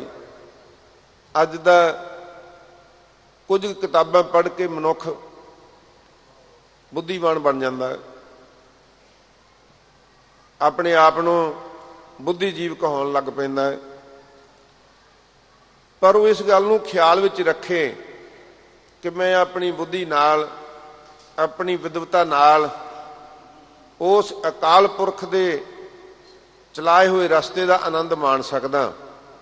ਉਹਦੇ ਦੱਸੇ ਹੋਏ ਅਸੂਲਾਂ ਤੇ ਚੱਲ ਕੇ ਉਹਦੀ ਅਭੇਦਤਾ ਵੀ ਪਾ ਸਕਦਾ। ਪਰ ਉਹਦੇ ਦੱਸੇ ਅਸੂਲਾਂ ਦੀ ਤਬਦੀਲੀ ਨਹੀਂ ਕਰ ਸਕਦਾ। ਉਹਦੇ 'ਚ ਮੈਂ ਦਖਲਦਾਜੀ ਨਹੀਂ ਕਰ ਸਕਦਾ, ਮੇਰੀ ਗਮ ਤਾਂ ਉੱਥੇ ਹੈ ਹੀ ਨਹੀਂ। ਜੇ ਮਨ ਵਿੱਚ ਆਵੇ ਮਹਾਰਾਜ, ਹਜੂਰ ਫਰਮਾਉਂਦੇ ਨੇ, ਹਰ ਹਰ ਅਗਮ ਆਗਾਦ ਕਹਿੰਦੇ ਉਹ, ਉਹਦੀ ਗਮਤਾ ਭਾਵ, ਉਹ ਡੂੰਗਾ ਵੀ ਇੰਨਾ ਕਿੰਨੀ ਕੁ ਡੂੰਘਾਈ ਤੱਕ ਜਾਵਾਂਗੇ? ਉਹਨਾਂ ਦੇ ਗੁਣ ਕਿੰਨੇ ਕੁ ਪਰਚੋਲ ਲਵਾਂਗੇ? ਉਹਨਾਂ ਦੀ ਦਿਆਲਤਾ ਕਿੰਨੀ ਕੁ ਮਾਪ ਲਵਾਂਗੇ? ਕਹਿੰਦੇ, ਨਹੀਂ ਮਾਪੀ ਜਾ ਸਕਦੀ। ਤੇ ਅਗਾਧ ਅਗਾਧ ਦਾ ਅਰਥ ਹੈ, ਇਹਦਾ ਸੰਬੰਧ ਹੈ ਬੁੱਧੀ ਨਾਲ, ਸਿਆਣਪ ਨਾਲ। ਜੋ ਸੰਕਲਪ ਤੇ ਵਿਕਲਪ ਨੇ ਮਨ ਦੇ ਇਹਦਾ ਸੰਬੰਧ ਉਹਦੇ ਨਾਲ ਆ, ਉਹ ਸਾਡੇ ਸੰਕਲਪਾਂ, ਵਿਕਲਪਾਂ ਤੋਂ, ਸਾਡੀ ਸੋਚਣੀ ਤੋਂ ਅੱਗੇ ਹੈ, ਪਰੇ ਹੈ। ਅਪਰੰਪਰ, ਅਪਰਪਰਾ। ਕੀ ਤੋਂ ਅੱਗੇ ਆ ਭਾਈ? ਮਾਰੇ ਕਹਿੰਦੇ, ਜਿੰਨੀ ਪ੍ਰਕਿਰਤੀ ਹੈ। ਪਰੰਪਰ ਦਾ ਮ- ਅਰਥ ਹੈ ਪ੍ਰਕਿਰਤੀ। ਜਿੰਨੀ ਪ੍ਰਕਿਰਤੀ ਹੈ ਨਾ, ਉਹ ਸਾਰੀ ਪ੍ਰਕਿਰਤੀ ਤੋਂ ਅਪਰਪਰਾ। ਪ੍ਰਕਿਰਤੀ ਤੋਂ ਅੱਗੇ ਵੀ ਆ ਜਿਹੜੇ ਦੇਵਤੇ ਮੰਨੇ ਗਏ ਨਾ ਬ੍ਰਹਮਾ ਆਦਿਕ ਮਹਾਰਾਜ ਕਹਿੰਦੇ, ਉਹ ਤੋਂ ਵੀ ਅੱਗੇ ਆ ਉਹਨਾਂ ਦੇ ਵੀ ਵਿਚਾਰਿਆਂ ਦੇ ਪਹੁੰਚ ਦੀ ਗੱਲ ਨਹੀਂ ਕਿ ਉਹ ਅਕਾਲ ਪੁਰਖ ਦੀ ਉਸ ਗਮਤਾ ਨੂੰ ਮਾਪ ਸਕਣ, ਜਾਣ ਸਕਣ। ਨਹੀਂ ਹਜੂਰ ਫਰਮਾਉਂਦੇ ਉਹਨਾਂ ਤੋਂ ਵੀ, ਉਹਨਾਂ ਦਾ ਵੀ ਪਰਾ ਰੂਪ ਹੈ, ਉਹਨਾਂ ਦਾ ਵੀ ਮੁੱਢ ਰੂਪ ਹੈ। ਉਹਨਾਂ ਦਾ ਵੀ ਆਸਰਾ ਰੂਪ ਹੈ। ਤੇ ਮਹਾਰਾਜ ਸੱਚੇ ਪਾਤਸ਼ਾਹ, ਫਿਰ ਉਹਨੂੰ ਮਿਲੀਏ ਕਿਵੇਂ? ਉਹਦੇ ਨਾਲ ਸਾਡਾ ਸੰਬੰਧ ਕਿਵੇਂ ਜੁੜੇ? ਜੇ ਸਾਡੀ ਬੁੱਧੀ ਤੋਂ ਵੀ ਪਰਾਂ ਹੈ, ਸੋਚਣ ਤੋਂ ਪਰਾਂ ਹੈ, ਵਿਦਵਤਾ ਤੋਂ ਪਰਾਂ ਹੈ, ਤੇ ਫਿਰ ਉਹਦੇ ਨਾਲ ਸੰਬੰਧ ਜੁੜ ਸਕਦਾ ਹੈ? ਧੰਨ ਗੁਰੂ ਰਾਮਦਾਸ ਮਹਾਰਾਜ ਸੱਚੇ ਪਾਤਸ਼ਾਹ ਜੀ ਕਿਰਪਾ ਕਰ ਰਹੇ ਨੇ। ਜੋ ਤੁਮ ਧਿਆਵੈ ਜਗਦੀਸ਼ ਤੇ ਕਹਿੰਦੇ ਜਗਤ ਦੇ ਈਸ਼ਰ ਇਹ ਜਗਤ ਦੇ ਮਾਲਕ ਜਿਹੜਾ ਵੀ ਤੈਨੂੰ ਧਿਆਉਂਦਾ ਜਿਹੜਾ ਤੈਨੂੰ ਅਰਾਧ ਹੈ, ਜਿਹੜੇ ਤੇਰੀ ਬੰਦਗੀ ਕਰਦਾ ਹੈ ਤਿੰਨ ਭਉ ਬਿਖਮ ਤਰਾ। ਮਹਾਰਾਜ ਸੱਚੇ ਪਾਤਸ਼ਾਹ ਜੀ ਜਿਹੜਾ ਵੀ ਇੱਥੇ ਕੋਈ ਬੰਧਨਾ ਨਹੀਂ ਕਿ ਉਹਨੂੰ ਕੌਣ ਧਿਆਵੇ? ਕੌਣ ਉਹਦੀ ਰੱਦ ਨਾ ਕਰੇ? ਰੱਦ ਨਾ ਕਰਨ ਵਾਲਾ ਕਿੰਨਾ ਪੜਿਆ ਹੋਵੇ, ਕਿਹੜੀ ਕੋਲ ਵਿੱਚ ਹੋਵੇ? ਨਹੀਂ। ਮਹਾਰਾਜ ਸੱਚੇ ਪਾਤਸ਼ਾਹ ਜੀ ਫਰਮਾਉਂਦੇ ਨੇ, ਕੋਈ ਗਾਵੈ, ਕੋ ਸੁਣੈ, ਹਰ ਨਾਮਾ ਚਿਤ ਲਾਏ, ਕਹੋ ਕਬੀਰ ਸੰਸਾ ਨਹੀਂ, ਅੰਤ ਪਰਮਗਤ ਪਾਏ। ਕੋਈ ਜਪ ਲਵੇ? ਕਦੋਂ ਜਪੇ? ਤੇ ਮਹਾਰਾਜ ਕਹਿੰਦੇ, ਭਾਈ, ਇਹਨੂੰ ਤੇ ਇੱਥੇ ਪੈਰ ਜਪ। ਊਠਤ ਬੈਠ, ਸੋਵਤ ਧਿਆਈਐ, ਮਾਰਗ ਚਲਤ ਹਰੇ ਹਰ ਗਾਈਐ ਸ਼ਰਵਣ ਸੁਨੀਜੈ ਅੰਮ੍ਰਿਤ ਕਥਾ, ਜਾਸ ਸੁਨੀ ਮਨ ਹੋਏ ਆਨੰਦਾ ਦੂਖ ਰੋਗ, ਮਨ ਸਗਲੇ ਲੱਥਾ। ਇਸ ਵਾਸਤੇ ਮਹਾਰਾਜ ਸੱਚੇ ਪਾਤਸ਼ਾਹ ਜੀ ਫਰਮਾਉਂਦੇ ਨੇ, ਜੋ ਤੁਮ ਧਿਆਵੈ ਜਗਦੀਸ਼, ਤੇ ਜਨ ਭਉ ਬਿਖਮ ਤਰਾ। ਇਹ ਸੰਸਾਰ ਭਵਜਲ ਬੜਾ ਬਿਖਮ ਹੈ। ਇਹਨੂੰ ਤਰਨ ਵਾਸਤੇ ਭਾਵੇਂ ਕੋਈ ਧੂਣੀਆਂ ਤਾਵੇ, ਭਾਵੇਂ ਕੋਈ ਪੁੱਠਾ ਲੰਮ ਕੇ ਜਲ ਧਾਰੇ ਕਰੇ, ਵਰਤ ਰੱਖੇ ਮਾਰੇ ਕਹਿੰਦੇ ਹੋ ਨਹੀਂ ਸਕਦਾ। ਇਹ ਮੁਸ਼ਕਲ ਹੈ। ਕਿਉਂਕਿ ਹਜੂਰ ਨੇ ਇੱਕ ਵਾਰ ਨਹੀਂ ਬਾਰ-ਬਾਰ ਬਾਣੀ ਵਿੱਚ ਫਰਮਾਇਆ ਕਿ ਇਹ ਭਵਜਲ ਸੰਸਾਰ ਨੂੰ ਤਰਨ ਵਾਸਤੇ ਉਹਦੀ ਬੰਦਗੀ, ਉਹਦੀ ਆਰਾਧਨਾ ਉਹਦਾ ਜਾਪ, ਵਾਹਿਗੁਰੂ ਦਾ ਸਿਮਰਨ ਬਹੁਤ ਜ਼ਰੂਰੀ ਹੈ। ਤੇ ਜਿਹੜੇ ਭਾਈ ਜਾਪ ਕਰਦੇ ਨੇ, ਸਿਮਰਨ ਕਰਦੇ ਨੇ, ਮਹਾਰਾਜ ਕਹਿੰਦੇ ਭਾਈ ਉਹ ਇਸ ਵਿਖਮ ਸੰਸਾਰ ਨੂੰ ਤਰ ਜਾਂਦੇ ਨੇ। ਬਿਖਮ ਭਉ ਤਿਨ ਤਰਿਆ ਸੁਹੇਲਾ, ਜਿਨ ਹਰ ਹਰ ਨਾਮ 'ਤੇ ਆਇਆ। ਕਹਿੰਦੇ ਇਹ ਬਿਖਮ ਸੰਸਾਰ ਸੀ। ਇਹ ਹਰ ਧਰਮ ਨੇ ਮੰਨਿਆ, ਵੇਦਾਂ ਸ਼ਾਸਤਰਾਂ ਨੇ ਮੰਨਿਆ, ਸਿਮਰਤੀਆਂ ਨੇ ਮੰਨਿਆ, ਗੀਤਾ, ਕੁਰਾਨ ਨੇ ਮੰਨਿਆ। ਵੀ ਇਹ ਭਵਜਲ ਸੰਸਾਰ ਨੂੰ ਤਰਨਾ ਕੋਈ ਸੌਖਾ ਨਹੀਂ। ਪਰ ਧੰਨ ਗੁਰੂ ਰਾਮਦਾਸ ਮਹਾਰਾਜ ਸੱਚੇ ਪਾਤਸ਼ਾਹ ਜੀ ਫਰਮਾਉਂਦੇ ਨੇ ਕਿ ਭਾਈ ਬਿਖਮ ਭਉ ਤਿਨ ਤਰਿਆ ਸੁਹੇਲਾ, ਸੁਹੇਲੇ ਦਾ ਅਰਥ ਹੈ ਸਹਿਜੇ ਹੀ, ਸੌਖਾ ਹੀ। ਉਹਨਾਂ ਨੇ ਇਸ ਭਵਜਲ ਸੰਸਾਰ ਨੂੰ ਤਰਨਾ ਕੀਤਾ। ਬੜੇ ਸੌਖੇ ਤਰੀਕੇ ਨਾਲ ਜਿਨ ਹਰ ਹਰ ਨਾਮ ਤੇ ਆਇਆ, ਜਿਨ੍ਹਾਂ ਨੇ ਪ੍ਰਭੂ ਦਾ ਨਾਮ, ਪਰਮਾਤਮਾ ਦਾ ਨਾਮ, ਵਾਹਿਗੁਰੂ ਦਾ ਸਿਮਰਨ ਧਿਆਉਣਾ ਕੀਤਾ। ਉਹਨੂੰ ਰੱਦ ਨਾ ਕੀਤਾ, ਬੰਦਗੀ ਕੀਤੀ। ਇਸ ਧੰਨ ਗੁਰੂ ਰਾਮਦਾਸ ਮਹਾਰਾਜ ਸੱਚੇ ਪਾਤਸ਼ਾਹ ਜੀ ਨੇ ਪਹਿਲਾਂ ਵੀ ਆਪਾਂ ਨੂੰ ਯਾਦ ਕਰਾਇਆ। ਗੁਰ ਸਤਗੁਰ ਕਾ ਜੋ ਸਿੱਖ ਖਾਏ ਸੋ ਭਲਕੇ ਉੱਠ ਹਰ ਨਾਮ ਧਿਆਵੈ। ਉਦਮ ਕਰੇ ਭਲਕੇ ਪ੍ਰਭਾਤੀ, ਇਸ਼ਨਾਨ ਕਰੇ ਅੰਮ੍ਰਿਤ ਸਰ ਨਹਾਵੈ ਤੇ ਸਤਿਗੁਰੂ ਪਾਤਸ਼ਾਹ ਜੀ ਜਿੱਥੇ ਉਹ ਮੋਹਰ ਲਾ ਕੇ ਆਏ ਨਾ, ਤੇ ਇੱਥੇ ਸਤਿਗੁਰੂ ਸੱਚੇ ਪਾਤਸ਼ਾਹ ਜੀ ਕਹਿੰਦੇ, ਭਾਈ, ਇਹ ਨਾਮ ਉਹੀ ਆ। ਜਿਨ੍ਹਾਂ ਨੇ ਪਰਮਾਤਮਾ ਦੇ ਨਾਮ ਦੀ ਆਰਾਧਨਾ ਕੀਤੀ, ਉਹ ਕਿਵੇਂ ਤਰ ਜਾਂਦੇ ਨੇ? ਕਈ ਵਾਰ ਮਨ ਵਿੱਚ ਆਉਂਦਾ ਹੈ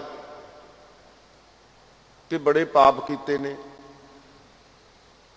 ਕੋਈ ਚੰਗਾ ਕੰਮ ਕੀਤਾ ਨਹੀਂ, ਔਗਣ ਕੀਤੇ ਨੇ। ਤੇ ਫਿਰ ਹੁਣ ਜੇ ਪ੍ਰਮਾਤਮਾ ਦਾ ਨਾਮ ਜਪਾਂਗੇ ਵੀ, ਤੇ ਪ੍ਰਮਾਤਮਾ ਦਾ ਨਾਮ ਜਪ ਕੇ ਸਾਨੂੰ ਪੂਰਾ ਲਾਭ ਮਿਲ ਸਕਦਾ। ਕਿ ਅਸੀਂ ਭਵ ਸੰਸਾਰ ਤੋਂ ਤਰ ਸਕਦੇ ਹਾਂ?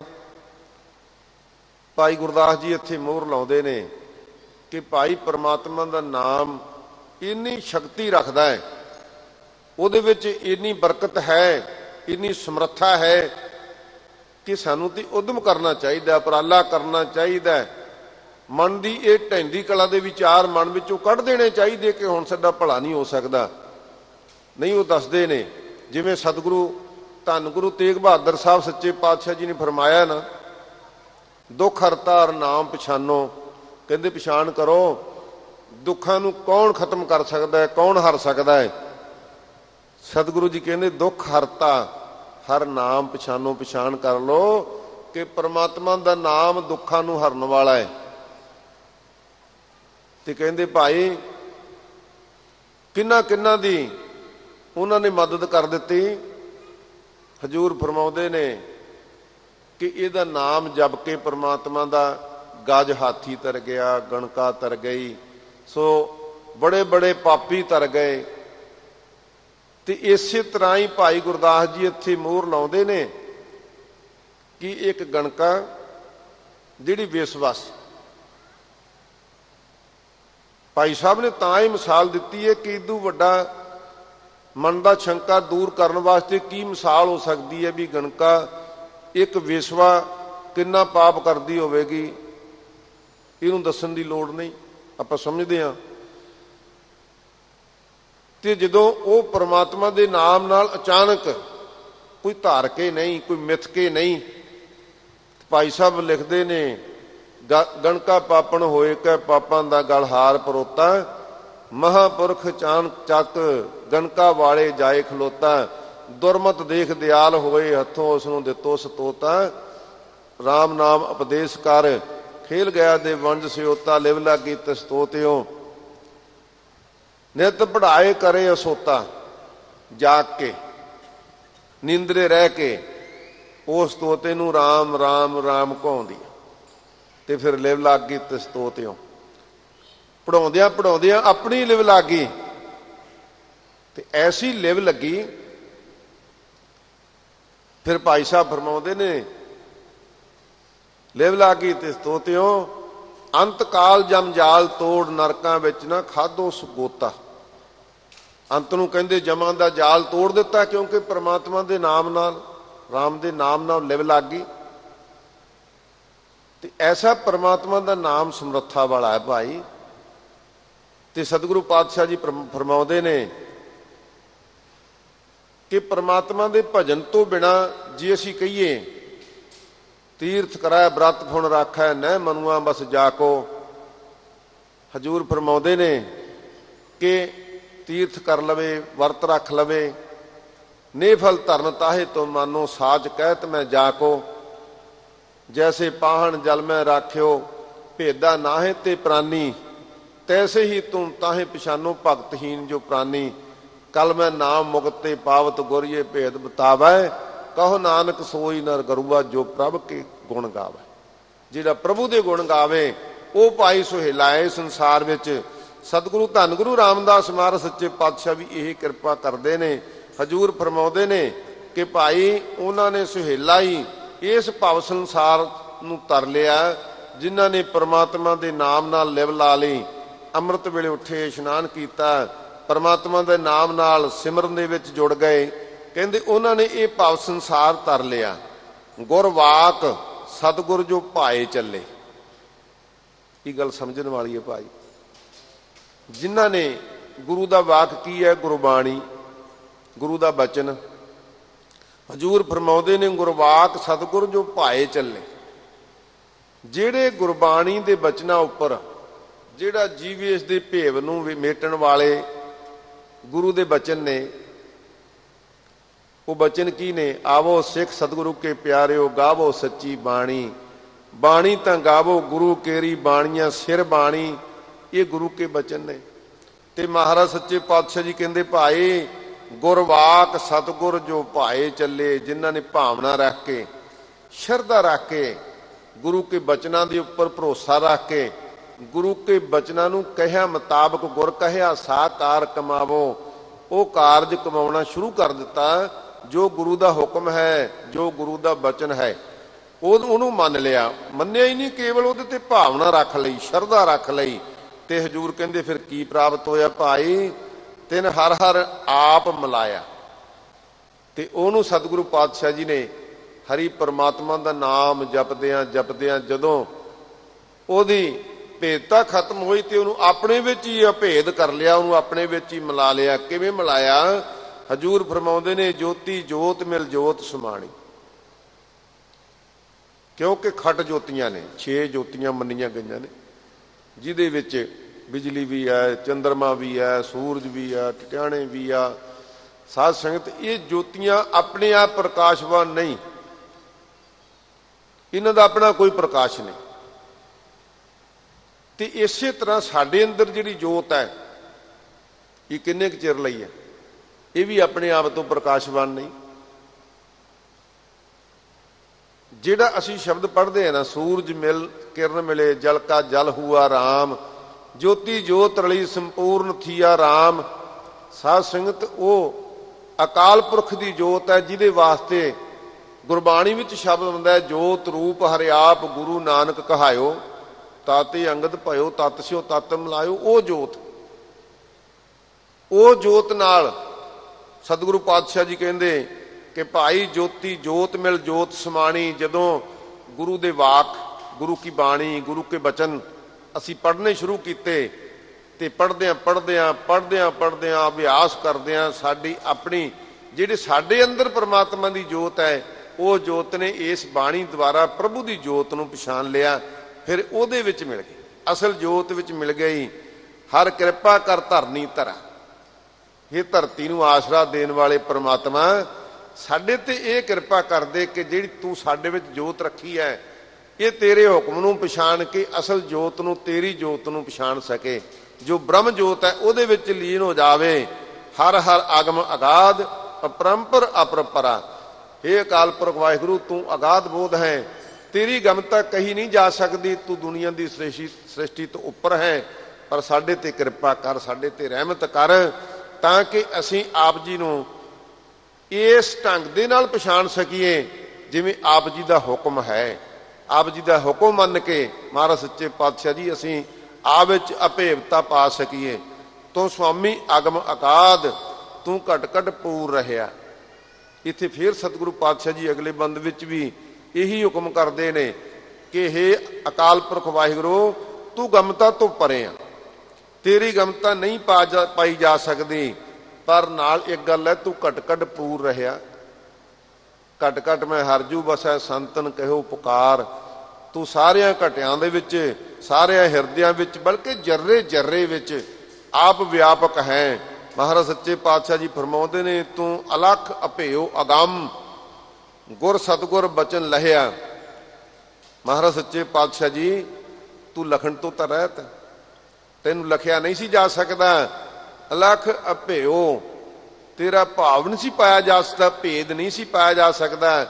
ਪਰ ਸਤਿਗੁਰੂ ਜੀ ਫਰਮਾਉਂਦੇ ਆ, ਕਿਵੇਂ ਪਾ ਸਕਦਾ? ਗੁਰ ਸਤਿਗੁਰ ਬਚਨ ਲਹਿ ਜਿਨ੍ਹਾਂ ਨੇ ਭਾਈ ਗੁਰੂ ਧਾਰਨ ਕਰ ਲਿਆ, ਜਿਨ੍ਹਾਂ ਨੇ ਗੁਰੂ ਦੇ ਬਚਨ ਨੂੰ ਮੰਨ ਲਿਆ, ਤੇ ਗੁਰੂ ਦੇ ਬਚਨਾਂ ਨੂੰ ਮੰਨਣ ਕਰਕੇ, ਗੁਰੂ ਦੇ ਹੁਕਮ ਤੇ ਚੱਲਣ ਕਰਕੇ ਉਹਨਾਂ ਨੇ ਉਸ ਦਾ ਭੇਦ ਪਾ ਲਿਆ। ਉਹ ਫਿਰ ਬ੍ਰਹਮ ਗਿਆਨ ਦੀ ਜੋਤ ਤੱਕ ਪਹੁੰਚ ਸਕਦੇ ਨੇ ਉਸ ਸਰੂਪ ਤੱਕ ਚਲੇ ਜਾਂਦੇ ਨੇ। ਉਹ ਇਹਦੇ ਵਿੱਚ ਭੇਦ ਹੋ ਕੇ ਉਸ ਸਤਿਗੁਰੂ ਦੀ ਰਹਿਮਤ ਨਾਲ, ਸਤਿਗੁਰੂ ਦੀ ਕਿਰਪਾ ਨਾਲ, ਉਹਦੇ ਸਿਮਰਨ ਨਾਲ ਤੇ ਨਾਲ ਉਹਦੀ ਨਦਰ ਨਾਲ ਸਤਿਗੁਰੂ ਪਾਤਸ਼ਾਹੀ ਦੇ ਇਸ ਭੇਦ ਨੂੰ ਪ੍ਰਾਪਤ ਕਰ ਲੈਂਦੇ ਹਨ। ਧੰਨ ਤਨ ਤੇ ਜਨ ਪੁਰਖ ਪੂਰੇ। ਸਾਧ ਸੰਗਤ, ਕੋਈ ਮਨੁੱਖਾਂ ਨੂੰ ਆਪਾਂ ਵਡਿਆਈ ਦੇ ਦਿੰਦੇ ਆ ਕਿ ਇਹ ਬੜਾ ਪਰਿਪੂਰਨ ਮਨੁੱਖ ਹੈ, ਇਹਦੀ ਬੜੀ ਬੰਦਗੀ ਹੈ। ਧੰਨ ਗੁਰੂ ਰਾਮਦਾਸ ਮਹਾਰਾਜ ਸੱਚੇ ਪਾਤਸ਼ਾਹ ਜੀ, ਕਿਹਨੂੰ ਪੂਰਨ ਮਨੁੱਖ ਕਹਿੰਦੇ ਨੇ? ਆਓ ਧਿਆਨ ਨਾਲ ਆਪਾਂ ਇਹ ਸੁਣੋ। ਧੰਨ ਧੰਨ ਤੇ ਜਨ ਪੁਰਖ ਪੂਰੇ, ਜਿਨ ਗੁਰ ਸਤ ਸੰਗਤ ਮਿਲ ਗੁਣ ਰਵੇ। ਜਿਨ੍ਹਾਂ ਨੇ ਭਾਈ ਗੁਰੂ ਕੀ ਸੰਗਤ ਵਿੱਚ ਇੱਕ ਉਤਮ ਪੰਥ ਸੁਣਿਓ ਗੁਰ ਸੰਗਤ। ਤੇ ਮਲੰਤ ਜਮ ਤਰਾਸ ਮਿਟਾਈ। ਕਹਿੰਦੇ ਜਦੋਂ ਗੁਰੂ ਕੀ ਸੰਗਤ ਵਿੱਚ ਮਿਲ ਕੇ ਜਿਨ੍ਹਾਂ ਨੇ ਵਾਹਿਗੁਰੂ ਵਾਹਿਗੁਰੂ ਵਾਹਿਗੁਰੂ ਜਪਿਆ, ਕਹਿੰਦੇ ਉਹ ਅਸਲ ਵਿੱਚ ਧੰਨ ਪੁਰਖ ਨੇ, ਪੂਰੇ ਪੁਰਖ ਨੇ, ਜਿਨ੍ਹਾਂ ਨੇ ਆਪਾ ਆਪ ਮਿਟਾ ਕੇ, ਆਪਣਾ ਭਾਵ ਤਿਆਗ ਕੇ ਕਿ ਮੈਂ ਸੰਗਤ ਤੋਂ ਵੱਡਾ ਮੈਂ ਸੰਗਤ ਵਿੱਚ ਕਿਉਂ ਜਾਵਾਂ, ਮੇਰੇ ਵੱਡਾ ਹੋਰ, ਜਿੱਡਾ ਹੋਰ ਕੋਈ ਜਥੇਦਾਰ ਹੀ ਨਹੀਂ, ਮੈਂ ਆਮ ਸੰਗਤ ਵਿੱਚ ਬਹਿ ਜਾ ਜਾ ਕੇ। ਨਹੀਂ ਭਾਈ, ਸੰਗਤ ਕਾ ਗੁਣ ਬਹੁਤ ਅਧਿਕਾਈ ਪੜਗਣ ਕਾ ਸੂਦ ਧਾਰੇ ਭਾਈ ਏਡੇ ਵੱਡੇ ਗੁਣ ਨੇ ਸੰਗਤ ਦੇ ਤਾਂ, ਤੇ ਹਜੂਰ ਇੱਥੇ ਫਰਮਾਉਂਦੇ ਨੇ, ਉਹ ਪੁਰਖ ਪੂਰਨ ਨੇ, ਜਿਨ੍ਹਾਂ ਨੇ ਸੰਗਤ ਵਿੱਚ ਬੈਠ ਕੇ ਪ੍ਰਮਾਤਮਾ ਦਾ ਨਾਮ ਜਪਿਆ। ਤੇ ਇੰਨਾ ਜਪਿਆ ਕਿ ਰਵੇ ਉਹਦੇ ਵਿੱਚ ਭੇਦ ਹੋ ਗਏ, ਉਹਦੇ ਵਿੱਚ ਮਿਲ ਗਏ, ਇੰਨਾ ਨਾਮ ਜਪ ਜਪ ਕੇ ਸਤਿਗੁਰੂ ਪਾਤਸ਼ਾਹ ਦੀ ਕਿਰਪਾ ਦੇ ਪਾਤਰ ਬਣੇ। ਵਿਵੇਕ ਬੁੱਧ ਵਿਚਾਰ ਗੁਰਮੁਖ, ਗੁਰ ਸ਼ਬਦ ਖਿਨ ਖਿਨ ਹਰ ਨੇਤਰ। ਹਜੂਰ ਕਹਿੰਦੇ ਇਹ ਤੂੰ ਵਿਸ਼ਵ ਸ਼ੈਣੀ ਬੁੱਧ ਨੂੰ ਛੱਡ ਦੇ, ਜਿਹਦੇ ਵਿੱਚ ਤੂੰ ਵਿਸ਼ਿਆਂ ਵਿਕਾਰਾਂ ਦਾ, ਕਾਮ ਕ੍ਰੋਧ ਦਾ ਸ਼ਬਦ ਸਪਰਸ਼ ਰੂਪ, ਗੰਧ ਦਾ ਭਰਿਆ ਪਿਆ ਕਹਿੰਦੇ ਕਹਿੰਦੇ ਇਹ ਤੋਂ ਵੀ ਉੱਠ, ਵਿਵੇਕ ਬੁੱਧੀ ਵੱਲ ਕਿਤੇ ਧਿਆਨ ਮਾਰ, ਜਿਹਦੇ ਵਿੱਚ ਸਤ ਸੰਤੋਖ, ਦਇਆ, ਧੀਰਜ, ਸੁਭ ਵਿਚਾਰ ਵੀ ਇਸ ਬੁੱਧੀ ਵਿੱਚ ਪਏ ਨੇ। ਤੂੰ ਕਿਉਂ ਨਹੀਂ ਖੋਜਦਾ, ਕਿਉਂ ਨਹੀਂ ਲੱਭਦਾ? ਕਿਉਂ ਇਸ ਨੂੰ ਮਲੀਨ ਕਰਕੇ ਤੂੰ ਇਹਨਾਂ ਨਸ਼ਿਆਂ ਵਿੱਚ, ਸ਼ਰਾਬਾਂ ਵਿੱਚ, ਵਿਵਚਾਰਾਂ ਵਿੱਚ ਇਸ ਬੁੱਧੀ ਨੂੰ ਲਾਇਆ ਹੋਇਆ ਹਜੂਰ ਫਰਮਾਉਂਦੇ ਨੇ, ਵਿਵੇਕ ਬੁੱਧ ਵਿਚਾਰ ਗੁਰਮੁਖ ਇਹ ਗੁਰਮੁਖਾ ਵਿਵੇਕ ਬੁੱਧੀ ਨਾਲ ਸੁਭ ਗੁਣਾਂ ਦੀ ਵਿਚਾਰ ਕਰ। ਤੇ ਫਿਰ ਤੈਨੂੰ ਪ੍ਰਾਪਤ ਕੀ ਹੋਵੇਗਾ? ਗੁਰ ਸ਼ਬਦ ਖਿਨ ਖਿਨ ਹਰ ਨਿਤ ਰਵੇ। ਨਿਤਾ ਪਰਤੀ, ਨਿਯਮ ਦੇ ਨਾਲ ਪਰਮਾਤਮਾ ਦੇ ਨਾਮ ਨੂੰ ਜਪਣਾ ਕਰ। ਇੱਕ ਦਿਨ ਦਾ ਕੰਮ ਨਹੀਂ, ਕਿ ਐਤਵਾਰ ਨੂੰ ਆ ਕੇ ਨਾਮ ਜਪ ਲਿਆ ਕਰਾਂਗੇ, ਸੰਡੇ ਵਾਲੇ ਦਿਨ ਛੁੱਟੀ ਹੁੰਦੀ ਆ। ਨਹੀਂ ਭਾਈ, ਨਿਯਮ ਬਣਾ ਕਿ ਤੂੰ 24 ਘੰਟੇ- ਘੰਟਿਆਂ ਚੋਂ ਘੱਟੋ ਘੱਟ 2.5 ਘੰਟੇ ਦਾ ਦਸਵੰਧ ਵੀ ਦੇਣਾ ਹੈ ਜਾਂ ਬਾਹਰ ਗੁਰਮੁਖ ਹਰ ਨਾਮ ਬੋਲੈ ਜਦੋਂ ਗੁਰਮੁਖ ਆ ਕੇ ਸੰਗਤ ਵਿੱਚ ਬਹਿੰਦੇ ਨੇ ਤੇ ਫਿਰ ਨਾਮ ਬੋਲਦੇ ਨੇ ਜਪਿਓ, ਸਾਰੇ ਕੀ ਬੋਲਦੇ ਆ ਭਾਈ? ਵਾਹਿਗੁਰੂ ਵਾਹਿਗੁਰੂ ਵਾਹਿਗੁਰੂ ਵਾਹਿਗੁਰੂ।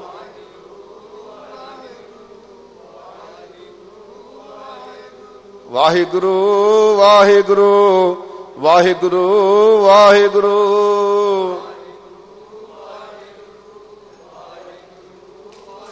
ਗੁਰਮੁਖ ਜਦੋਂ ਆ ਕੇ ਸੰਗਤ ਵਿੱਚ ਸਜਦੇ ਨੇ, ਫਿਰ ਵਾਹਿਗੁਰੂ ਸਿਮਰਨ ਵਿੱਚ ਜੁੜਦੇ ਨੇ, ਕੀਰਤਨ ਵਿੱਚ ਜੁੜਦੇ ਨੇ, ਜਾਂ ਖੜੇ ਗੁਰਮੁਖ ਹਰ ਨਾਮ ਕਹਿਆ, ਤੇ ਜਦੋਂ ਕਿਤੇ ਖੜ ਵੀ ਜਾਂਦੇ ਨੇ, ਇੱਕ ਦੂਜੇ ਨੂੰ ਮਿਲਦੇ ਨੇ, ਖੜੇ ਖੜੋਤੇ ਵੀ, ਤੇ ਫਿਰ ਵੀ ਭਾਈ ਗੱਪਾਂ ਨਹੀਂ ਮਾਰਦੇ, ਕਿਸੇ ਦੀ ਨਿੰਦਿਆ ਨਹੀਂ ਕਰਦੇ, ਚੁਗਲੀ ਨਹੀਂ ਕਰਦੇ, ਫਿਰ ਵੀ ਉਹ ਗੁਰੂ ਘਰ ਦੀਆਂ ਹੀ ਬਾਤਾਂ ਪਾਉਂਦੇ ਨੇ। ਉਹ ਫਿਰ ਪ੍ਰਮਾਤਮਾ ਦੇ ਨਾਮ ਦੇ ਸਿਮਰ ਦੀ ਗੱਲ ਕਰਦੇ ਨੇ। ਉਹ ਹਮੇਸ਼ਾ ਹੀ ਭਾਵ, ਜਿਵੇਂ ਊਠ ਤੇ ਬੈਠ ਤੇ ਸੋਵਤ ਨਾਮ ਹੈ ਕਹਿੰਦੇ ਖੜੇ ਵੀ ਪ੍ਰਮਾਤਮਾ ਦਾ ਨਾਮ ਹੀ ਜਪਦੇ ਨੇ ਤੇ ਇਸ ਵਾਸਤੇ ਹਜੂਰ ਫਰਮਾਉਂਦੇ ਨੇ ਤੂੰ ਸੁਆਮੀ ਅਗਮ ਅਗਾਧ ਤੂੰ ਘਟ ਘਟ ਪੂਰ ਰਹਿਆ हे ਸੁਆਮੀ हे ਮਾਲਕ हे ਵਾਹਿਗੁਰੂ हे ਅਕਾਲ ਪੁਰਖ ਤੂੰ ਆਪ ਸਾਡਾ ਮਾਲਕ ਹੈ ਤੂੰ ਤੂੰ ਸੁਆਮੀ ਅਗਮ ਅਗਾਧ ਤੂੰ ਘਟ ਘਟ ਪੂਰ ਰਹਿਆ ਮਹਾਰਾਜ ਤੂੰ ਸਾਰੇ ਘਟਾਂ ਵਿੱਚ ਪਰਿਪੂਰਨ ਰੂਪ ਹੋ ਕੇ ਆਪ ਵਿਆਪਕ ਹੈ ਇਸ ਵਾਸਤੇ ਮਹਾਰਾਜ, ਸਾਡੇ ਤੇ ਵੀ ਕਿਰਪਾ ਕਰ। ਸਾਡੇ ਅੰਦਰੋਂ ਵੀ ਇੱਕ ਖਿੱਚ ਪੈਦਾ ਕਰ, ਇੱਕ ਪ੍ਰੇਮ ਪੈਦਾ ਕਰ। ਅਸੀਂ ਆਪ ਜੀ ਦੇ ਨਾਮ ਨਾਲ ਜੁੜ ਕੇ, ਮਹਾਰਾਜ ਸੱਚੇ ਪਾਤਸ਼ਾਹ ਜੀ, ਅਸੀਂ ਵੀ ਆਪ ਦੀ ਸਿੱਖੀ ਦਾ ਕਿਣਕਾ ਧਾਰਨ ਕਰ ਲਈਏ। ਅਸੀਂ ਆਪ ਦੀ ਸਿੱਖੀ ਵਿੱਚੋਂ, ਆਪ ਦੀ ਸਿੱਖਿਆ ਵਿੱਚੋਂ, ਆਪ ਦੀ ਗੁਰਬਾਣੀ ਵਿੱਚੋਂ ਇਹ ਨਿਯਮ ਬਣਾ ਲਈਏ ਕਿ ਅਸੀਂ ਪ੍ਰਮਾਤਮਾ ਦਾ ਨਾਮ ਜਪਣਾ ਹੈ। ਤੁਹਾਨੂੰ ਗੁਰੂ ਗ੍ਰੰਥ ਸਾਹਿਬ ਜੀ ਦੇ ਉੱਪਰ ਭਰੋਸਾ ਰੱਖਣਾ ਹੈ। ਸਤਿਗੁਰੂ ਸੱਚੇ ਪਾਤਸ਼ਾਹ ਦੀ ਮਿਹਰ ਦੇ ਪਾਤਰ ਬਣਨਾ ਹੈ। ਮਹਾਰਾਜ, ਸਾਡੇ ਤੇ ਵੀ ਇਹ ਕਿਰਪਾ ਕਰਦੇ। ਸਾਡੇ ਤੇ ਵੀ ਇਹ ਦਿਆਲਤਾ ਕਰਦੇ। ਜਦੋਂ ਸਤਿਗੁਰੂ ਜੀ ਦੀ ਇਹ ਕਿਰਪਾ ਹੋਵੇਗੀ, ਤੇ ਤਾਂ ਹੀ ਹੋਏਗੀ ਭਾਈ ਜਦੋਂ ਅਸੀਂ ਸਤਿਗੁਰੂ ਦਾ ਹੁਕਮ ਮੰਨਾਂਗੇ। ਸਤਿਗੁਰੂ ਨੇ ਹੁਕਮ ਕੀਤਾ ਨਾ ਭਾਈ, ਕਿ ਜਿਹੜੇ ਗੁਰੂ ਦੇ ਵਾਕ ਨੂੰ, ਗੁਰੂ ਦੇ ਹੁਕਮ ਨੂੰ, ਗੁਰੂ ਦੇ ਬਚਨ ਨੂੰ ਗੁਰੂ ਕੇ ਸਿੱਖ ਮੰਨ ਲੈਂਦੇ ਨੇ, ਉਹਨਾਂ ਉੱਪਰ ਗੁਰੂ ਦੀ ਕਿਰਪਾ ਹੋ ਜਾਂਦੀ ਆ। ਜਿਨ੍ਹਾਂ ਨੇ ਖੰਡੇ ਬਾਟੇ ਦਾ ਅੰਮ੍ਰਿਤ ਨਹੀਂ ਛਕਿਆ, ਉਹ ਭਾਈ ਖੰਡੇ ਬਾਟੇ ਦਾ ਅੰਮ੍ਰਿਤ ਛਕੋ, ਗੁਰੂ ਵਾਲੇ ਬਣੋ। ਸਤਿਗੁਰੂ ਪਾਤਸ਼ਾਹ ਦੀ ਕਿਰਪਾ ਦੇ ਪਾਤਰ ਬਣੋ, ਗੁਰੂ ਕੇ ਪੁੱਤਰ ਪੁੱਤਰੀਆਂ ਬਣ ਕੇ ਆਪਣਾ ਜੀਵਨ ਸਫਲਾ ਕਰੋ। ਇੰਨੀਆਂ ਬੇਨਤੀਆਂ ਪ੍ਰਵਾਨ ਕਰਨੀਆਂ ਭੁੱਲਾਂ ਚੁੱਕਾਂ ਦੀ ਖਿਮਾ ਬਖਸ਼ਿਸ਼ ਕਰਨੀ ਜੀ। ਜਾਂ ਬਾਹੈ ਗੁਰਮੁਖ ਹਰ ਨਾਮ ਬੋਲਾ ਹੈ ਜਾਂ ਖੜੇ ਗੁਰਮੁਖ ਹਰ ਨਾਮ ਕਹਿਆ। ਤੁਮ ਸੁਆਮੀ ਅਗਮ ਅਗਾਧ ਤੂੰ ਘਟ ਘਟ ਪੂਰ ਰਹਿਆ। ਵਾਹਿਗੁਰੂ ਜੀ ਕਾ ਖਾਲਸਾ ਵਾਹਿਗੁਰੂ ਜੀ ਕੀ